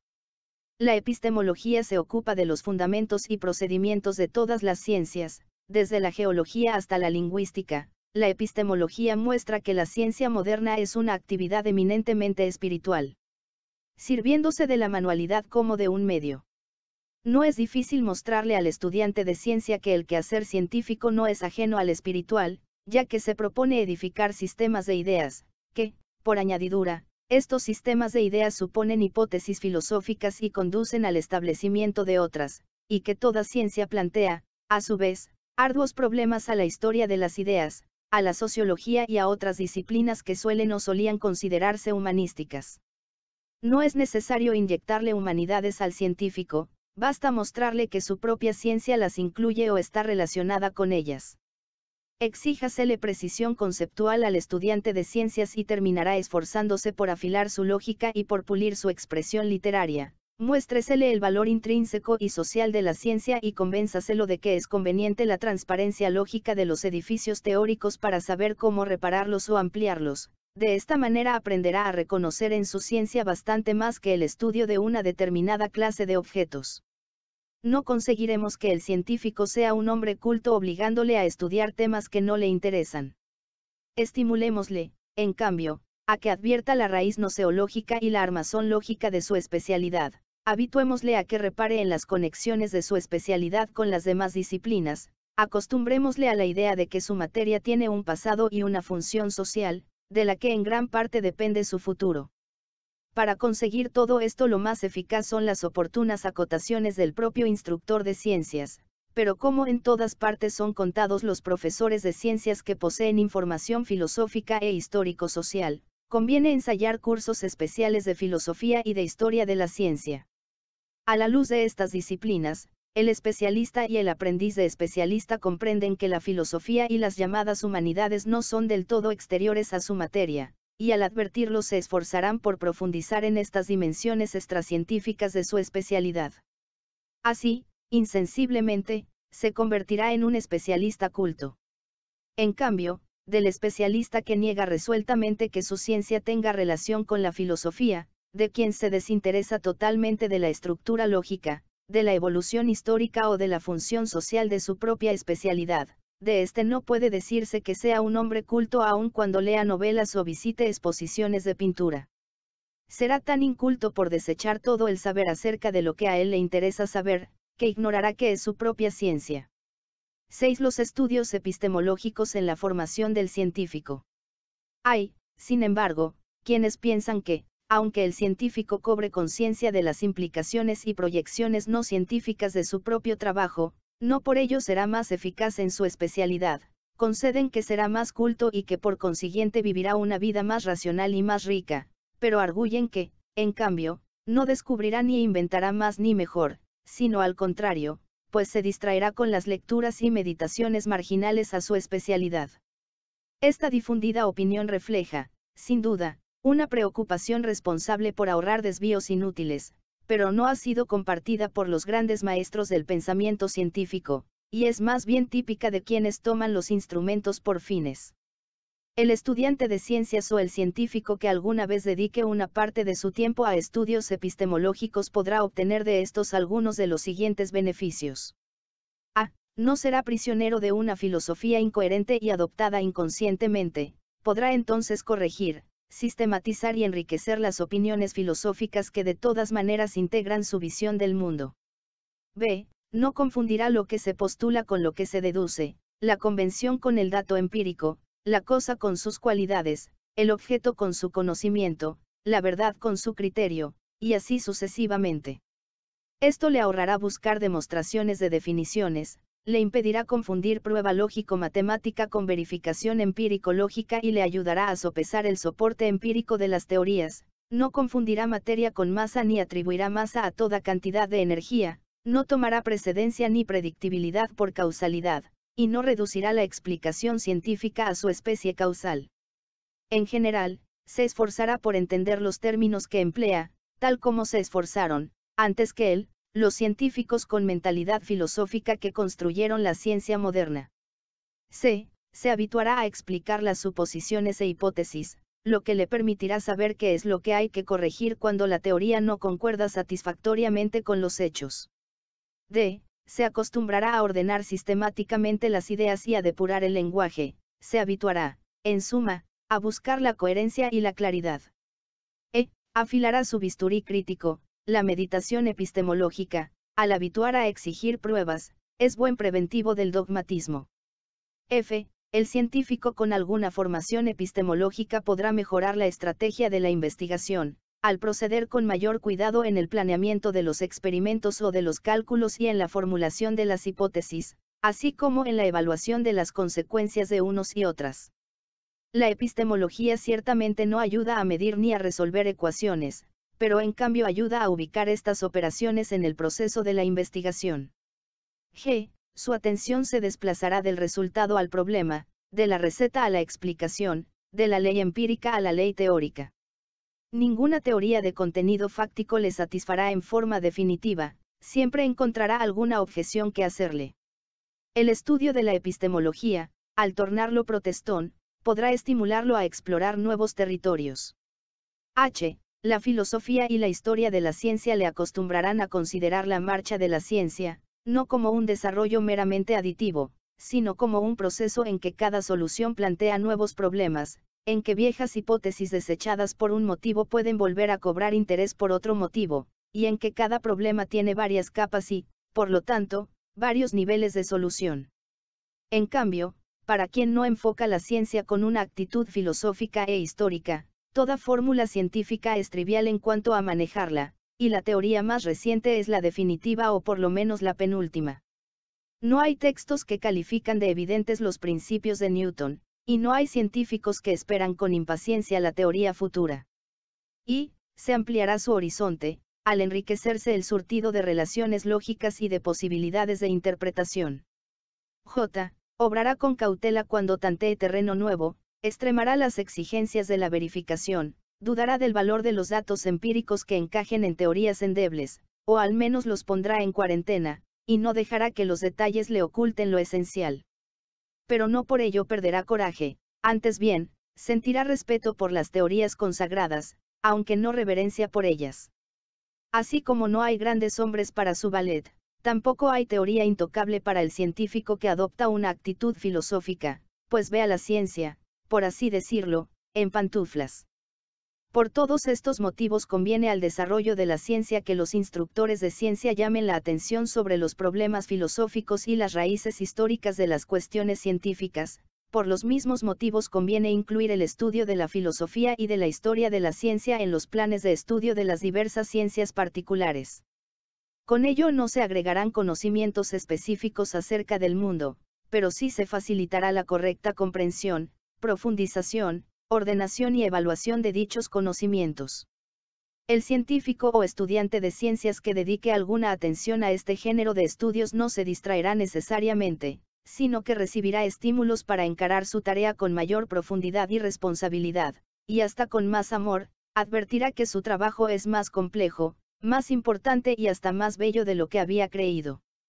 Desde luego, existe el peligro de que alguno se pase al campo de la epistemología o al de la historia de la ciencia. Enhorabuena si lo hace. ¿No protestamos acaso por la escasez de filósofos e historiadores de la ciencia que conocen el objeto de sus estudios? 7. El aprendizaje y la enseñanza de la epistemología. Si no es difícil lograr que el estudiante de ciencias llegue a adoptar una actitud filosófica ante su propia especialidad, es de temer en cambio que, en las condiciones actuales, no sea fácil inducir a los estudiantes de filosofía a que adopten una actitud científica. En primer lugar, es la inmadurez de la propia epistemología, la que torna su estudio accidentado. En segundo lugar, porque nuestros estudiantes no han sido preparados para adoptar una actitud científica sino para lo contrario, salvo excepciones, se les ha inculcado indiferencia y a veces desprecio por la ciencia, y no se les ha dado la formación científica indispensable para abordar con profundidad el estudio de la epistemología. Es posible que existan estudiantes de preceptiva literaria que no sepan leer y escribir. No, porque se trata de una disciplina que versa sobre el lenguaje escrito y por lo tanto lo presupone. Y nadie haría caso de un analfabeto que pretendiera enseñarla. En cambio, entre nosotros no provoca asombro y escándalo el que se enseñe filosofía de la ciencia a estudiantes que, en el mejor de los casos, solo están equipados con los recuerdos de las nociones científicas elementales que aprendieron en la escuela secundaria. Y han sido contados los que, en nuestro medio, se han escandalizado de que hubiese audaces que simularan enseñar filosofía de la ciencia sin haber hecho jamás investigación científica, sin siquiera haber estudiado ciencias en el nivel universitario. Esto no ocurre, desde luego, en los centros culturales avanzados, donde la epistemología es enseñada por personas que investigan o han investigado en algún campo de la ciencia, a alumnos que poseen una preparación científica de nivel universitario. No se conoce otra vía para alcanzar un conocimiento adecuado del objeto mismo de la epistemología. Ni siquiera basta tener nociones sobre la ciencia clásica si se quiere filosofar con provecho sobre la ciencia actual. Para hacer filosofía de la ciencia viva, para hacer epistemología útil a la ciencia, para poder detectar y abordar la problemática filosófica suscitada por la investigación científica que se está haciendo ante nuestra vista, es necesario, aunque ciertamente no es suficiente, tener un conocimiento de primera mano de esa misma ciencia actual. Y esto no le es dado, en toda su amplitud, a un solo individuo. Por esto, la epistemología como cualquier otra rama del saber y acaso más que otras, es una empresa colectiva, a la que contribuyen numerosos especialistas, filósofos de la lógica, de la matemática, de la física, de la biología, de las ciencias sociohistóricas, etc. La filosofía de la ciencia que no es enseñada por científicos a estudiantes que poseen una formación científica discreta, tiene mucho de farsa. Es hora de que el estudio de la epistemología cobre entre nosotros la seriedad que lo caracteriza en otras partes. Es hora de facilitar, a quienes deseen estudiarla con seriedad, los instrumentos lógicos, semióticos y científicos necesarios. Esta reforma es propugnada, entre nosotros, por la novísima agrupación rioplatense de lógica y filosofía científica. Mientras ello no llegue, será conveniente que alumnos y profesores extrememos la modestia ante las ciencias que hayamos de examinar, tratando de entender sus rudimentos antes de criticarlas. Para facilitar el aprendizaje científico previo a cualquier consideración epistemológica seria, se contará con la colaboración de científicos y estudiantes de ciencias, quienes estarán a disposición de los estudiantes de epistemología y, a su vez, tendrán oportunidad de informarse, por estos últimos, acerca de los problemas tradicionales de la filosofía, con muchos de los cuales entroncan los problemas filosóficos de la actualidad. En cuanto a las numerosas limitaciones del profesor, para subsanarlas aunque sea en parte, se solicitará el concurso de colegas y de especialistas en diversas ramas de la ciencia, para que expongan los problemas filosóficos que han encontrado en el curso de sus investigaciones. De esta manera, cada uno de los participantes del curso aprenderá algo. El curso de epistemología no tendrá una orientación filosófica definida, su objetivo será facilitar la adquisición de información amplia y objetiva, promover la discusión y, sobre todo, incitar a la meditación independiente.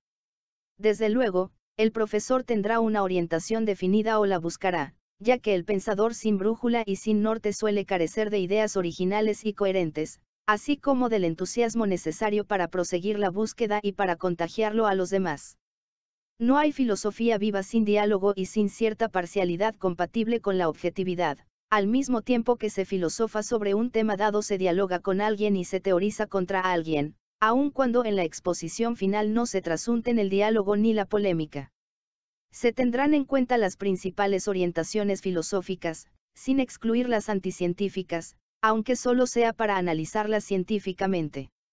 Pero no se tomarán por temas de estudio las escuelas y los autores, sino los problemas epistemológicos, ya es hora de abandonar el enfoque exclusiva y predominantemente escolástico e histórico de los problemas filosóficos, es hora de abordarlos sistemáticamente, como lo han hecho quienes han dicho algo nuevo. La tarea informativa quedará, así, subordinada a la labor formativa o, mejor, autoformativa, los autores servirán de peldaños y no de cadenas. Se preferirá el diálogo vivo a la recitación de datos, y la discusión inacabada al oráculo definitivo. Se tendrá la pretensión de guardar fidelidad al lema que eligieron los discípulos de uno de los fundadores de la ciencia moderna, probando y reprobando. Se intentará, en suma, adoptar una actitud científica ante los problemas epistemológicos, con la esperanza de que produzca frutos que convenzan a los científicos de la conveniencia de encarar filosóficamente la ciencia, y que persuada a los filósofos de que la filosofía rigurosa y fecunda no es un género literario sino una ciencia.